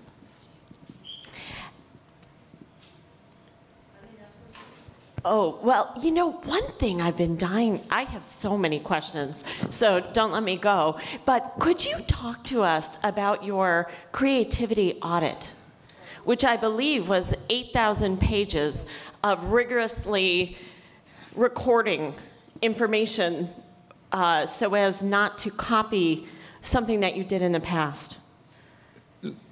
El el- el- para entender la creatividad To understand hay que creativity, entender la evolución humana. you have to understand human evolution. ¿Cuándo fue que el cerebro no tuvimos la capacidad de crear? When did our brains have the capacity to create? Entendiendo que esto fue evolutivo, That this was an evolutionary ¿no? pero process. ¿cuál es el, no? El- But what is it? hay la película esta de Lucy, You have a film on Lucy ¿no? De Scarlett Jo- John Hudson, with Scarlett Johansson, que ya sé que es ciencia ficción. It's ¿no? kind ¿no? of science fiction, tal, essentially. tal. Pero te hace muchas preguntas, ¿no? but it makes you ask a lot of ¿no? questions. En sobre el- hasta dónde vamos a llegar ¿no? a nivel de inteligencia, And what level are we going to reach with human intelligence if we keep No. evolving this way?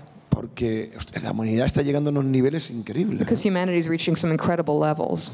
Y entender que a nivel creativo, At the creative level, en cocina, in, in cooking, la- nuestra generación no es la más importante. ¿eh? our generation is not the most important. Es mucho más importante en Mesopotamia, en, en Grecia, It's en much more Roma. important to look at Mesopotamia, Greece, Rome. No, no, fue increíble. Cuando te planteas cómo pasó aquello, When you think about what happened then, ¿no? ¿A quién se le ocurrió, no? Coger could cereales imagine it? y hacer todo lo que pasó en aquellas civilizaciones, to think about all that happened in those civilizations, Yo la co- la- lo veo como, como las células, ¿no? I think of it as cells. Bueno, empezaron con dos células, Two cells start, ¿no? Y hay miles de millones and then thousands of de, de- millions de células, ¿no? of cells. that- Entonces, para entender el proceso educativo, creo que tienes que entender estas cosas, ¿no? You have to understand these things when you're looking at the creative No, process. no solamente, creo que, que quizás se focaliza demasiado actualmente en la motivación, en todo esto, tal. We, we focus too much sometimes on motivation and the process that of creating. Bueno, sí, está bien, hay que tener motivación, ¿no? It's important to have motivation, of course. Pero si eres profesional, ya hay bastante. If you're professional, though, that's enough. No hay que pedir a la gente que hace innovación una motivación y una pasión descomunal. You don't have to ask people who do innovation that they have to have this great motivation. And Porque es diferente cuando es tu negocio. when, it's different when it's your business. Si tú tienes negocio vas a estar 20 horas trabajando. If it's your business, you're going to work for 20 hours on horas. something. Pero si tú estás dentro de una organización, But within an organization, lo que te tienen que pedir que seas profesional. what you have to ask if someone is to be Y el professional máximo de about it eficiencia. and, ma- and efficient to Mira, the maximum siempre lo level. explico. Una de las grandes diferencias que hay con- de Estados Unidos con Europa One of the great differences between the US and Europe, es que aquí más o menos sabéis trabajar en equipo. because here more or less you know how to work in teams. En Europa es muy difícil. It's very difficult in Europe. Es decir, en los egos In the egos, es insoportable. it's just it's Es insoportable. It's No, no, no, no. es insufferable. no, Es insoportable, ¿no? Y entonces, eh, esto, cuando hablamos del proceso educativo, estamos hablando de todo esto, de ser muy pragmático, When we talk about this process, we're talking about being very pragmatic. eh, eh, escucha, eh, muy, muy, no hay, na- no hay nada igual. There's nothing that's the same. Cada persona que estéis aquí es diferente. Every one of you here is different. Si tienes niños, If you have children, va a ser difícil que trabajes sábado y domingo. It's going to be hard for you to work on Saturdays and Sundays, for Yo no tengo example. niños. I don't have children. Eh, Trabajo y domingo. I can work Saturdays and ¿vale? Sundays. Pero no voy- y me permite que mi proceso creativo sea muy diferente. And it allows my creative process to be very different Porque el sábado y domingo me pongo en orden. because I can get myself organized on the weekends, trabajo, all the work that I have. ¿eh? Estoy 15 horas dedicándole a esto. I could spend 15 hours dedicated to Tío, pero this. tú por qué trabajas 15 horas? But, you know, who works 15 hours? Porque no trabajo. Because I don't have the other stuff going on. Porque, porque esto es una, una actitud delante de la vida. Porque lo que yo tengo es una actitud delante de la Because this is an attitude that I have facing life. This is sort of the way I view life. No, no, pero yo no no puedo pedir a, a las personas que estáis aquí que sean igual. But I can't ask every single person who's here to do the same. Esto, esto es lo que es la, la auditoría creativa. ¿no? That's what the creative audit is. Thank you so much. And we'll turn to a question from Jonathon Sawyer. Hi, thank you. I just wanted, uh, if Ferran could talk about the requisite for knowledge um, prior to creativity, because it was something we, we, we chatted about yesterday, and it was really fascinating to me, if, if he could.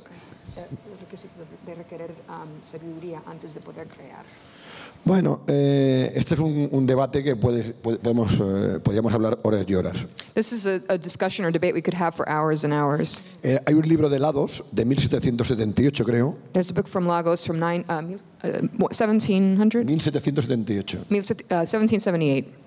Sí, sí, en 1778 ya habían libros de helados. Yes, there were. Oh, the Lagos, I'm sorry, ice cream. I thought he said Lagos, the country. Um, there's a book on ice cream from 1778. Ma'am? Correction. Y hay una receta que se llama, hay una receta que es de trufa negra. and there was actually a recipe in there for black uh, truffle ice cream.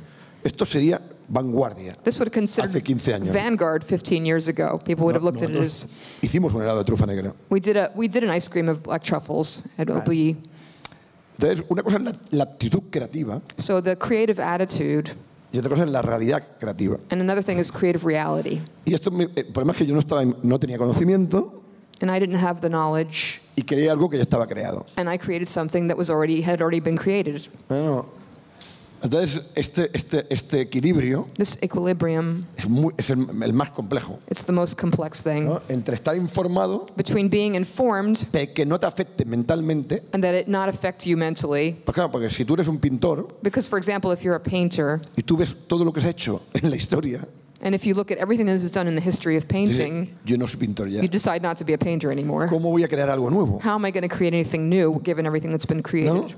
Es- Entonces, es un tema eh, apasionante, It's a, a, a- an idea of passion, pero todo el discurso que damos desde la fundación but the whole dialogue or discussion we have at the es foundation para las nuevas generaciones, is for the new generations, es para la gente que empieza, for people who are starting out today, donde, donde es impensable where it's unthinkable en cualquier disciplina in any discipline que no se estudie that you don't el study, pasado y tengas conocimiento. that you don't know its past and study its past and have que- knowledge es que, about it. ¿no? Entonces, en cocina In cooking, parece que esto a veces no sea bueno, it seems sometimes people think it's not good to know these things. pero no es esto. El, eh, el Bulli Catálogo fue el primer restaurante en el mundo que catalogó los platos, El Bulli was the first restaurant in history that cataloged all of its dishes, año 2000. and it started in the year 2000. que hay todo el catálogo del Bulli That's when it began to publish the y de, catalogs. aquí 100 años And then from if 100 years, habrá gente que pueda estudiar aquí- estos libros people will be able to study those books and know what was done. y sacarán su conclusión. Saca- sacarán la conclusión. They'll make their own conclusions from it. No hemos sido capaces aún que los cocineros hagáis lo mismo. We have not yet been able to reach the point where chefs will do this. All chefs will do Tú, the same. Jonathan, no catalogas los platos. You, Jonathan, are not able to catalog your dishes. Por est- este año, ¿vale? Pongo el 1, You ¿no? haven't. 2, 3, 4, 1, ¿no? Doing it by year, each dish, No como el arte, ¿eh? not as art, Como los tornillos. Just like screws and uh, hardware. Sí, los tornillos también se catalogan. Así You have to saben catalog lo que screws es and esto. nails. Este, por ejemplo, es un reto importantísimo. It's an important challenge, Entonces, eh, a veces, eh, no en la cocina, sino en general, but not just in cooking, but in no general. nos interesa esto, It doesn't interest us porque vamos a ver que, que nos copiamos. because we realize when we start doing this that we copy each other when we start looking back at what Y we've nadie quiere ver And no one wants to know that. esto. I have a quick follow up on that that I've been d- just stewing about for the last couple of days for the entire panel. When, when we think about having this language, this taxonomy that you were talking about, versus some of the historical um, specificity that we saw represented here, and our discussions about uh, one narrative of history versus multiple narratives of history, or some of the challenges that as soon as we write something, there's a new piece of knowledge, a new way of looking at something that completely changes that.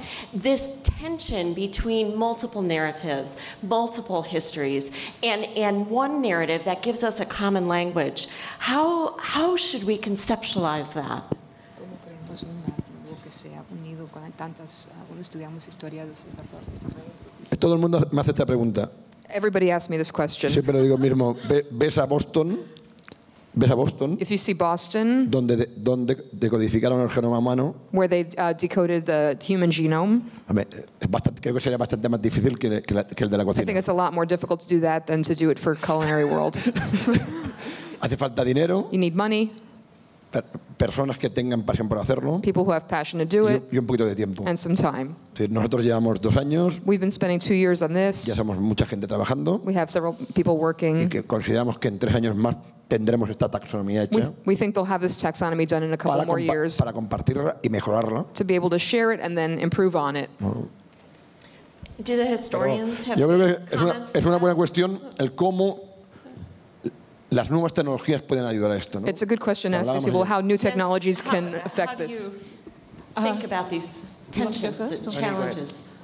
Uh, my sense is that any history or any classification uh, is created with respect to current concerns. When those concerns change, you will need to rethink your history or rethink your classification. I I, as I understand Ferran Adria's project, his classification is specifically now to encourage interaction between uh, different chefs from different backgrounds. I couldn't applaud that more because one of the lessons of history, as Dan was saying, uh, any history of technique or technology or cooking is that contact is one of the most powerful drivers of innovation. So if this classification can help that, that's great. Will it stand for all time? No, because we're humans and we're evolving and we will have different needs in the future. At least that's how I'd see it. Oh, and I guess I want to say two things. One is that that um, in technology we've found that. Um, exactly as Chef Adria is proposing, that something where you put out a standard and the beginning standard is not going to be perfect, but you let people, you crowdsource it, you let people add to it and improve it. Um, that's always been a very successful thing. But a, a second thing I want to say is if is the perspectives of different chefs from different cultures can be very different. In China, water is not water. Dr- people don't drink raw water, uncooked water. The idea of uncooked water it just seems very wrong. So a classification of food No, no, in China. Water, water es H2O. La- el agua es H2O. H2O. Oh, wait, water is H2O, you say. Yeah. uh, but- Claro, but pues- no, pues si, but so- si solo, is- si- claro, yeah. lo puedes clasificar Yeah. como, como, como algo científico. But it's not sci- but it's not scientific. It- what about in cuisine? In cuisine, is water cooked or is water raw? In China, agua cruda, raw, raw water is not a is not a food. Raw water is is is for watering plants. Only cooked water is food. Pues, pues esto, pues esto hay que ponerlo en el, en el decoding. we have to add this to the we have to add this to the decoding. All right. Claro, este es el tema. Sí, And of course, you need sí, sí, anthropology. Sí, sí, esto es, no, no, es esto. Yeah. Es el. This is the decoding. This process you're, Pero you're no hearing now. ir To China your ¿eh? point. But we don't have to go all the way to China to do this, but we can hacer esta reflexión. to reflect on this. Es una reflexión sobre cocina. It's just a reflection on cooking. ¿no? Yo creo que, que eh, uno no quiere hacer clasificaciones One doesn't want to do classifications porque es mucho trabajo. because it's a lot of work sometimes. Eh, Es así, es así, ¿no? It is that way. Eh, You have to start somewhere. eh, sí, claro. What- what- eh, eh, esto lo hace el mundo de la ciencia, The, world of science does this bueno, Yeah. con muchos recursos, with lots of resources. Muchos recursos. A lot of resources. muchos recursos. A lot of ¿Qué sucede? Que no está linkada. It's not linked to. No hay disciplina, clasificaciones linkadas. There's no uh, disciplines that are linked in this way. el, mundo, el mundo de la medicina, in the world of medicine, aquí solamente en medicina, Some of you might be hay cantidad de clasificaciones there's lots of classifications muy rigurosas, that are very rigorous, pero que no están linkadas entre sí. but that are not linked um, Vale. um, within ¿Y themselves. sabéis among por qué? Yo tardé mucho tiempo en entenderlo. Um, why? Because I, it's, I really struggle with trying to understand Porque this. no, no existía internet. Because there was no internet. Harían falta, lo que queremos hacer ahora, What we want to do now, en papel, on paper, harían falta mil libros. you would have needed a thousand books on paper to do it. Una enciclopedia de mil libros, es An encyclopedia. No se, no se podría pagar. It would, you would, be Me- me- difficult to pay that. Hoy, gracias a internet, Thanks to the internet today, though, yo puedo clasificar el agua I can classify water de, de 50 maneras. 50 different ways. Ah, entonces, claro, el- aquí están las nuevas tecnologías de internet, lo que me permite This is what these new technologies like the internet allow me to do or allow people to do. no no hacer todo esto. ¿no? Y, y, es que es muy nuevo, It's all very new. internet. Jill, did you have a question? Is this on? Is it on? Okay. Um, in June, uh, Dan Barber spoke here, another great chef, um, about, uh, he was doing a book tour for his book, The Third Plate. And he began his talk uh, with a, a, a, a, meal that he had served the night before, in which he had discovered that parsnips that he had been growing in at his farm had gone, th- they hadn't uh, harvested all of them and they had gone through a freeze and they went back to unearth them and they had grown to the size of a baseball bat. And he talked about the excitement of taking this out and discovering that it, for him, it was the equivalent of serving a steak. And he made this meal in which this lowly, um, sort of what would have otherwise been discarded. Um, uh, vegetable was now uh, being served as if it were steak, um, and it was very sweet, and he was very excited about this.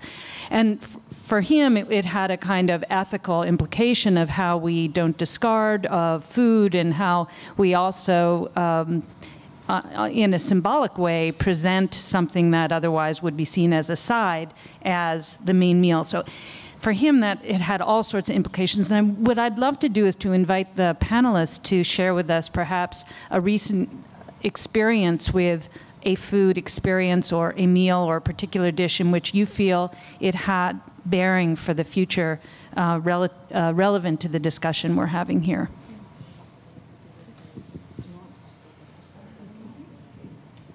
Well, I've never had such an experience, but, but, but it, it, I mean, it does raise the question of what serendipity contributes to creativity.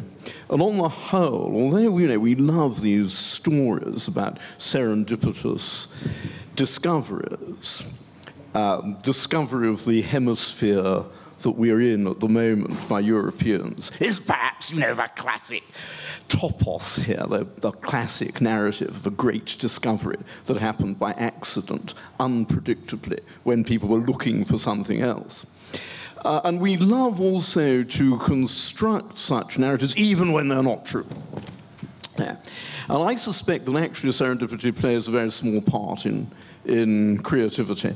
Um, actually, it's the subject of my, how, you know, where creativity comes from is actually the subject of my next um, my next book. And I very much endorse what, particularly what Dan and Ferran have said about this, that you know, ideas kind of breed, and it's when you get exchange of ideas that you get you know, create, creative episodes in the history of the, uh, of the world. And on the whole, you know, serendipity is a marginal part of that. It's, you know, as someone once said, it's actually, you know, 99% perspiration, and it comes, you know, from hard work. I slightly disagree with Ferran. I still think, you know, that in the world of ideas, in the world of uh, intellectual creativity, books, you know, print is still going to be where it happens rather than on the the internet, just as I think, you know, that great new dishes are going to go on being created in the kitchen and restaurants uh, rather than in um, rather than in computers. But I mean, I very much agree with this notion that ideas come from the exchange of ideas, that uh, um, change comes from interchange. But I also think that there is a um, you know, as, as Ferran said, an evolved component to creativity. In my submission, it's the result of the interaction of two evolved faculties. That's memory and anticipation. Uh, and the, the, curious thing about human anticipation is it's very good. You know, we're really good at seeing what isn't there.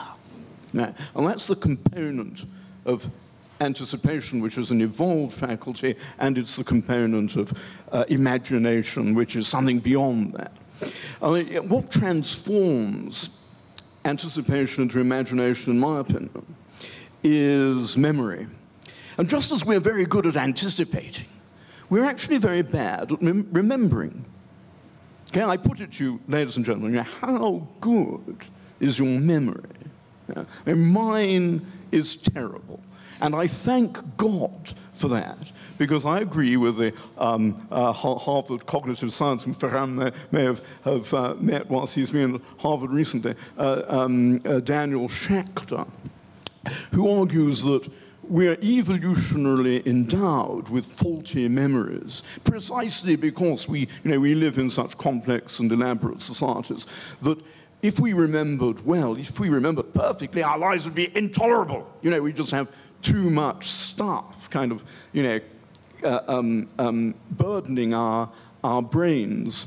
So our memories have evolved selectively to be bad. And that's one of the most important components in imagination because every new idea is, I think to some extent, you know, following up what Dan and Adria have said, you could say that every new idea is um, the result of a sort of misunderstanding. That you tell me something, I get it slightly wrong, and that's new. But it's also, I think every new idea is also to some extent an old idea, as Ferran was saying, an old idea misremembered. And that's where, you know, it gets transformed into something, into something new. I think those are much more important than these serendipitous um, uh, discoveries. That's not to say that I wouldn't love to try, love to eat one of those parsnips. A, quick food Very experience. Quick, very quick from me. Last night, uh, we were talking about Ferran Adria's suggestion that you make a tortilla española with potato chips that you have reconstituted. I love that. It's one of the things I like about his work. To go back to my repeated uh, theme, uh, to use an industrial product, and actually, you have to know that Spanish potato chips knock American potato chips out of the water. They are wonderful. But to do that, uh, to bridge this world between the chef and the industrial production of food, it seems to me, is absolutely crucial. Es que el tema de la- de la- del tema industrial es un tema muy relativo. It's a relative uh, subject, the idea of industrial food. El me- uno de los mejores vinos del mundo es Petrus Uh, One of the best wines in the world is Petrus, y es una producción industrial. and it's totally an industrial production. Bueno, digo porque claro, el concepto de, de artesano y, y- industrial. The idea, the concept of artisan and industrial, Además, eh, eh, tened en cuenta que la mayoría de cocineros, and most bueno, chefs, restaurantes, perdón, restaurantes, most restaurants, utilizan más productos, productos industriales que no industriales. they use more industrial products than non-industrial products. Todas las bebidas, casi todas las bebidas son industriales. Almost all the beverages are industrial. Es decir, No hay, no hay que, hay que, hay que apoyar la calidad. You have to basically support quality. Yo el otro día estaba con un- unos amigos. I was with some friends the other day. Sí, sí, eh, estoy enseñándole a mi hijo la salsa de tomate. I'm showing my son how to make tomato sauce Ah, está, está bien, digo, está bien, está bien. That's sí, sí, wonderful. porque además no hay que comprar del supermercado. because we, I don't want him to go buy it in the supermarket. Y yo le digo, le estás enseñando también a hacer los espaguetis, ¿no? But are you also showing him how to make the spaghettis? I asked. Hombre, es que esto es más complicado. This is a little more complicated. ¿Por qué compras, eh, no? ¿Por qué no puedes comprar una buena sal- salsa de tomate? Why can't you buy a good quality tomato sauce? Why do you have to make it? ¿Sabes? Eh, los helados eh, artesanos industriales Industrial uh, artisan ice creams. son mejores que el 99,99% de los helados que puedes hacer en casa. so the ice creams that you buy, the industrial ice creams, it can be much better in many cases than the ones you can make at home Porque no tienes las herramientas adecuadas. because you don't necessarily have all the tools to que- make it. que estamos en una revolución. We're in the middle of a revolution. Cuando ha explicado lo del ketchup, When he explained about es ketchup, un ejemplo, ¿no? Es decir, el tema de la tradición the idea of tradition, it was a perfect hay que- example. tiene que cambiar. The idea of tradition has to change. El plato popular catalán, los canelones, The Catalan dish, the popular dish from está Catalonia, hecho con eh, caneloni italiano, it's, uh, caneloni italiano it's Italian cannelloni y salsa bechamel francesa. and bechamel sauce from France. Claro, no, mm, sí, es nacional catalán, pero claro, it's a Catalan dish, but un poco relativo. Yo creo que, que, que el- el- cuando hablo de clasificación, when I talk about classification, yo también hablo de esto. ¿eh? I speak about this also. Yo estoy hablando de, de aclarar términos, I'm to clear, clarifying terms, no caer en el populismo, not to just fall in porque es populist muy fácil. ideas. It's very easy to do that. A mí cuando me hablan todo el mundo, no, porque tal, la cocina popular, tal... People talk to me about what El popular food 99% de las is. veces la cocina popular está mal hecha. 99% of the time, popul- populist food is not well made. Esto no, esto no es nada populista.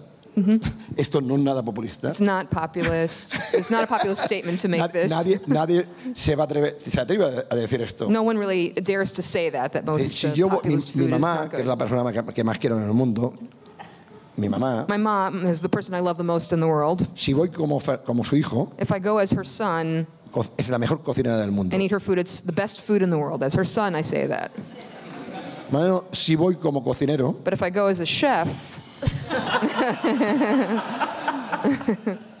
no, es translation una realidad. it's the reality. Es una realidad. Todo, y conozco personas And I know people que son capaces de cocinar eh, popularmente igual que casi un profesional. and can cook at that level at home almost as well as a professional. Un plato, dos platos, One or two dishes, they might tres, make it at that level. ¿vale? Y después hay excepcionales And then there is exceptional people. que están en el límite entre lo amateur y lo profesional. They're kind of at the limit between the two Como que- areas, professional yo creo que, que- que hace falta el pragmatismo de la realidad But you need the pra- uh, pragmatism of reality que lo dan estas personas, que son los historiadores. that these people give us, the que historians, esto es así.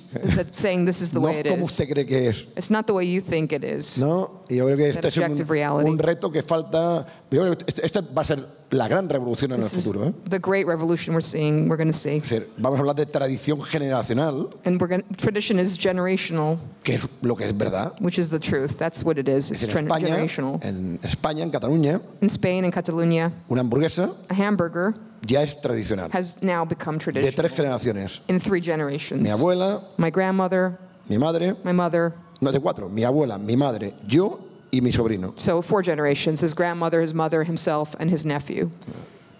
So we will close with two final questions um, that we have waiting, and then we will transition our large group conversation into smaller group conversations and uh, invite you to continue the questions and comments during the book signing. Will you, will you allow me a, a last question after, after we've heard from the public? Because there's something I'd like to put to Ferran. Okay, let's go ahead.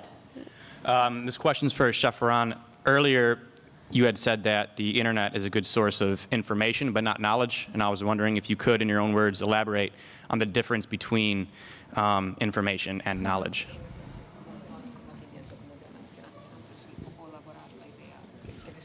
Muy, eh, es muy fácil, la información es, es sé lo que pasa, information is I know what happened, this is what happened, bueno, y conocimiento es por qué pasa, cuándo pasa, dónde pasa. and knowledge is why did it happen, uh, when did it happen, why, you know, what was the reason behind it, Pero como how did it cocineros happen. As chefs, tenemos que tener un conocimiento X. we have to have a sort of baseline knowledge. Decir, no puedes entrar en la obsesión.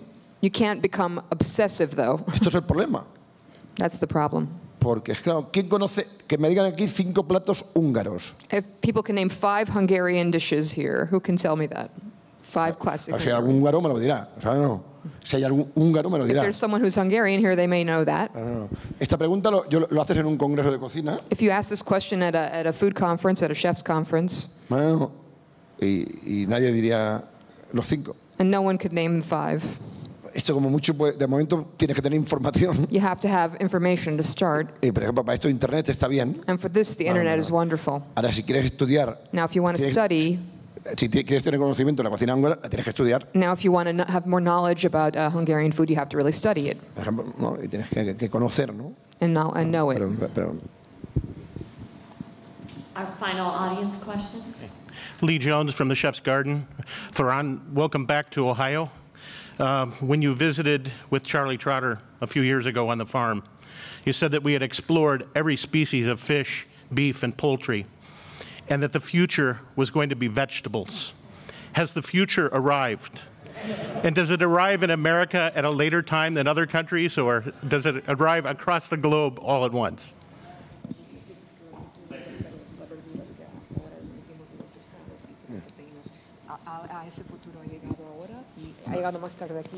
Siempre estamos hablando en la gastronomía. Es que este es el tema. Una cosa es en casa, otra cosa es en fast food. En gastronomía, sin duda alguna, la gran revolución que ha habido en los últimos 15 años es el conocimiento de los vegetales. ¿no? The, it- you can look at it different ways. There's the world of gastronomy, there's the world of home cooking, but without a doubt, in the last 15 years in the world of gastronomy, Hay the great revolution has been uh, vegetables. Hay poco pescado nuevo, There's few fish that are new that, ¿vale? that poca, we're carne, eating, poca, po- very few poca carne meats, nueva. That are new that we're el, seeing. el guayu y poca cosa The más. wagyu, for example, but not too Sin much more. en vegetales, los últimos 20 años, But in the last 20 years in ¿vale? vegetables, hay un, nú- un número increíble de, There's an de incredible new number nuevos, ¿no? que, no que no se utilizaban. that were not being used before De los entonces Or widely used. está ahora en casa at home. es otra historia That's a different story. es que, como explicaba antes el diálogo The dialogue, as I was entre la cocina popular between popular home cooking y la cocina culta. and uh, sort of um, sophisticated food, cocina culta. Culta, sí culta culta. Ese, ese, Como culta de culto. cultured. culta sí no no es que- culture, es que- uh, food of, of, of society. en, en la música en la música in music. hay música popular y música culta. And Eh, no, no. in music, there's popular Culta. sort of pop music, and then ah, there's Y sort of classic or esto, cultured. desde que hay civilizaciones Since there are civilizations, siempre ha sido igual it's always been there's always been this dichotomy. unos comían ¿no? Some would una eat- cosa y otros comían otras Someone would eat, someone would eat some kind of food, and others would eat other, depending on los their que están aquí la mayoría society. no- se pueden permitir ir a un restaurante un día al, al mes seguramente un buen Maybe some of you are here could go to a really fine restaurant maybe once a month or something, a special occasion. Esto es un discurso This is a para dialogue un tipo de personas for a certain type of person y quien gana 500 dólares al mes pues es otro discurso who earns a certain amount of money per month. Claro, y todo es comida And it's all food, though. El cómo se ordena todo esto How do you order all of that structure, all of es it? una de las grandes retos que hay ¿no? That's one of the great challenges that porque se mezcla todo y ya no sabes muy bien Because we mix everything up when we talk about it, it's hard to. si estamos hablando de germinados para ¿no? Germinados But if you're talking about, you know, uh, cultivation and que seeds, puede pasar que de, de- en los de aquí 100 años o 50 años what o could 30 happen in años 100 years or 30 todo esto years? llega a las casas ¿no? This is we can all see the evolution of it. And our final burning question. Well, thank you very much, Annie. It's very kind. I, I, yeah, I'll put this question in, in English and then I'll summarize it very briefly in Spanish, save time. I, um, I, I want to ask you this, Ferran, because I suspect it's in everybody's mind, but nobody dares ask you in case it seems rude. When, uh, when Dan was talking about the social differentiation of cuisine, uh, and, um, and, and you know, when, when you talked about uh, la cocina culta, uh, it struck me that you've achieved a technological and artistic and culinary revolution. But how are you going to convert that into a cultural revolution? Your food is targeted at a very high level, economically, intellectually, educationally, uh, and in terms of taste and general culture. And you've had kind of heretical disciples like Heston Blumenthal who've tried to take some of your ideas and project them at a popular level. Have you got a strategy for turning your culinary revolution into a cultural revolution? That's ¿verdad? Okay. Bueno, ca- ca- cada, cada caso es diferente. Every case is different. Every case Por is el unique. pasaron, por el Bulli pasaron 2.000 personas We had 2,000 people pass through El Bulli who ¿vale? worked there. trabajar. Y hoy están trabajando, mm, en, la mayoría en- ya son responsables. And many of them now are in charge of their own businesses. Y más, más, más, más social network que esto no hay. And there's no greater social network than Y this más eso example. cultural no hay. Más de eso cultural no hay. And uh, ex- uh, this cultural access that exists. eh, cuando se habla del bulli, When you talk about Bulli, sale la- el tema de esferificación. you talk about. Esto, And esto es del año no- 2003. this was in 2003, though, for ¿Qué example. pasó del año 84? But what happened in Hasta el 1984 2003. until 2003? What did we do there? La gente no tiene ni idea. People don't have any idea. Cuando hablamos de la, de la cocina del Mediterráneo, When we talk about Mediterranean cuisine, El for aceite de example, oliva. olive oil, ¿qué- ¿quién utilizó aceite de oliva en lo que sería la alta cocina, que, que es un nombre feo, pero como se entiende, who was using olive oil in haute cuisine, which is a, an ugly name, ugly designation in some ways, but it's how we talk about ¿quién it. fue? Who ¿Quién- was using dónde- olive oil dónde- in, ¿Dónde in haute esto? cuisine? ¿Dónde pasó? Where did this happen? Ni idea. No idea. Bueno, claro, eh, se sabe más de la cocina griega We know more about Greek food or food que from de la Greece nouvelle cuisine. than Nouvelle cuisine. Y este es el problema. And this is the problem. ¿no? Este es un problema muy grande, pero claro, podemos entender que la cocina griega We can understand that Greek hay que estudiarlo, hay poca documen- documentación. there's y not tal. that much documentation, but we have to study it. Pero, pues, ¿Qué es el hecho más importante de la Nouvelle Cuisine? But what's the most important result Es of decir, Nouvelle Cuisine Algo que la gente se reía de la Nouvelle Cuisine. People used to laugh at it. Aún se ríe. They still laugh sometimes, Ha cambiado la historia de la cocina, but it changed the history of la, la cuisine, historia de la alimentación. the story of eating, Bueno, nutrition. Entonces, todo, toda la vanguardia, The whole vanguard, toda la vanguardia llega, va llegando. It all starts uh, Unas de una manera o de otra. in different ways because of that. Bueno, eh, el bulli lo que representó What re- we represented es, una, es que la gente pensara, is that ma- it made people think, que la gente se abriera la mente, that opened their minds, bueno, y sobre todo empezar una revolución and starting a revolution. que gracias a eso, That thanks to that, no, no, el- no, no Ferran Adrià, ¿eh? not Ferran Adria, Bueno, el bulli El y bulli. otro, otra, otra another generación, generation, siempre acumulativa, acumulativa. have accumulated. Pues claro, no- no- It's no- cumulative process. si no fuera asistido Michel Gerard, el bulli no fuera asistido. If Michel Gerard did not exist, El Bulli would not have existed.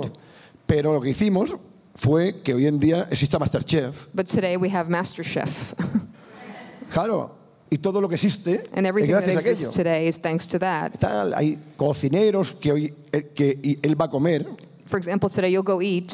que digas, ah, esto, esto, esto está bien porque esto no es vanguardia, esto no es tecnológico. You might say, oh, this is good because it's not technological, it's not vanguard. Y son But hijos yet, del Bulli. but yet there are people that came out of El Bulli or are, era, influenced by era un that. pensamiento. It was El Bulli was a thought, Y si an hacemos idea. cocina japonesa And if we did Japanese food, tradicional, traditional Japanese food, in quotation marks, eh, la haríamos, la haríamos ¿vale? igual, we would do it the same way. ¿vale? Entendi- bueno, lo que pasa es que pensaríamos We would think about it. por qué no la tempura vino de Portugal. We think, why did tempura, tempura came from Portugal? entender que porque en Portugal no hay tempura. And why is there no, no tempura in Portugal, for example, now? But it came from there. ¿no? Entonces, eh, lo que hizo el bulli fue todo esto. Entonces, This yo, is what El Bulli did, yo all of creo this. que, que- que el tema de- de- de- del impacto The idea of the impact que tuvo la vanguardia, that the vanguard had esta, esta- esta- vanguardia a mediados de los 90, in the 1990s, this vanguard junto con la Nouvelle movement, Cuisine, combined with Nouvelle Cuisine, la Nouvelle Cuisine, recogemos, dialogamos entre los dos. the dialogue between the two, Eh, Michel Bras o Pierre Gagnier Michel Bras, Pierre y Garnier, el bulli y El otra generación son, son una conexión, porque es que siempre ha habido una conexión. there's a, there's a connection there because there's always been a connection casi there, siempre. or almost always. Bueno, pero esto fue lo, lo importante. ¿no? Entonces, eh, al contrario, nosotros lo que estamos orgullosos We're very proud es de esto. Es decir, el bulli that we were part of this, fue quien hizo eh, que en Harvard that we were able to go to que la, Harvard, que la cocina entrara en la universidad. and that allow uh, cuisine to verdad. go into the university De for verdad. real. Bueno, hoy, hoy todas las universidades quieren hacer A lot of universities cosas today want to do things like this. El bulli fue quien dialogó con el arte. We were the ones who dialogued with the art world. Hoy estamos aquí. Today we're here, for El example. bulli fue quien, quien tuvo una, la relación con la ciencia. El, El Bulli entered into a relationship Hoy with es science. normal. And today it's considered normal. Entonces, yo creo que este efecto cultural This cultural effect, es algo que poco se ha estudiado muy poco. it's not been studied very much. Porque la gente se queda con la esferificación y el nitrógeno líquido. spher- uh, spherification and liquid nitrogen. claro, ¿quién lo- el tema es quién lo hace. Esto. The question is, who does this? Que, ¿no? Porque, claro, tienes que ser un, un analista. You have to be an analyst. Claro, Porque eh, cuando ¿quién, ¿quién me dice aquí cuál fue el- lo que he dicho antes de la Nouvelle Cuisine? ¿Cuál fue, el, cuál fue el hecho más importante de la Nouvelle Who here can tell me what was the most important act in Nouvelle Cuisine, the most important moment of it or action? Es que hay gente más o menos que le gusta comer. And you people may like food and know a lot about food. ¿Cuál fue? What was the most important moment in Nouvelle Esto en el mundo del arte sería impensable. It would be unthinkable to not be able to answer that Que question in the art se- si world. preguntara la Damoiselle d'Avignon qué significa, If I were to ask you, the Demoiselle d'Avignon, uh, what does that painting hay mean? mucho, mucho por hacer. There's still a lot to be done in our field que hablaba antes, mucho, mucho por hacer, porque si no caemos en los tópicos. because otherwise we're just not going to. No, en los tópicos. Uh, we're just in the topics, Y esto es el trabajo de ellos. and this is your job. No, no, no, no, no de ellos, sino de los historiadores, Historians, dialogando con los cocineros. with chefs, Bueno, el, el cómo se hace lo complejo, the how it's done. porque aún no es fácil, no es nada fácil, It's not easy in any way. porque son mundos They're very diferentes. different worlds. Bueno, y tal, y cuando te juntas... And when you join them, when you have a dialogue. En el Bully Lab ya hay, hay 40 personas, We have uh, 40 people in the LBE lab hay, now, ya hay historiado- hay historiadores and there are historians de gastronomía, del arte. of art, of Y gastronomy, poquito a poco vamos haciéndolo, and little by little we're building this. poquito a poquito, porque no podemos hacer en 20 años We can't do in 20 years lo que no se ha hecho en cientos de años. what was not done in, in, in hundreds of years. ¿no? Que es este Can't recover diálogo that so conjunto quickly. entre disciplinas. The dialogue between disciplines. But we're working on it, and we want to thank the Institute for the Science of Origins and MOCA, Alan, and I think you, you all want to join me in thanking our extraordinary panelists.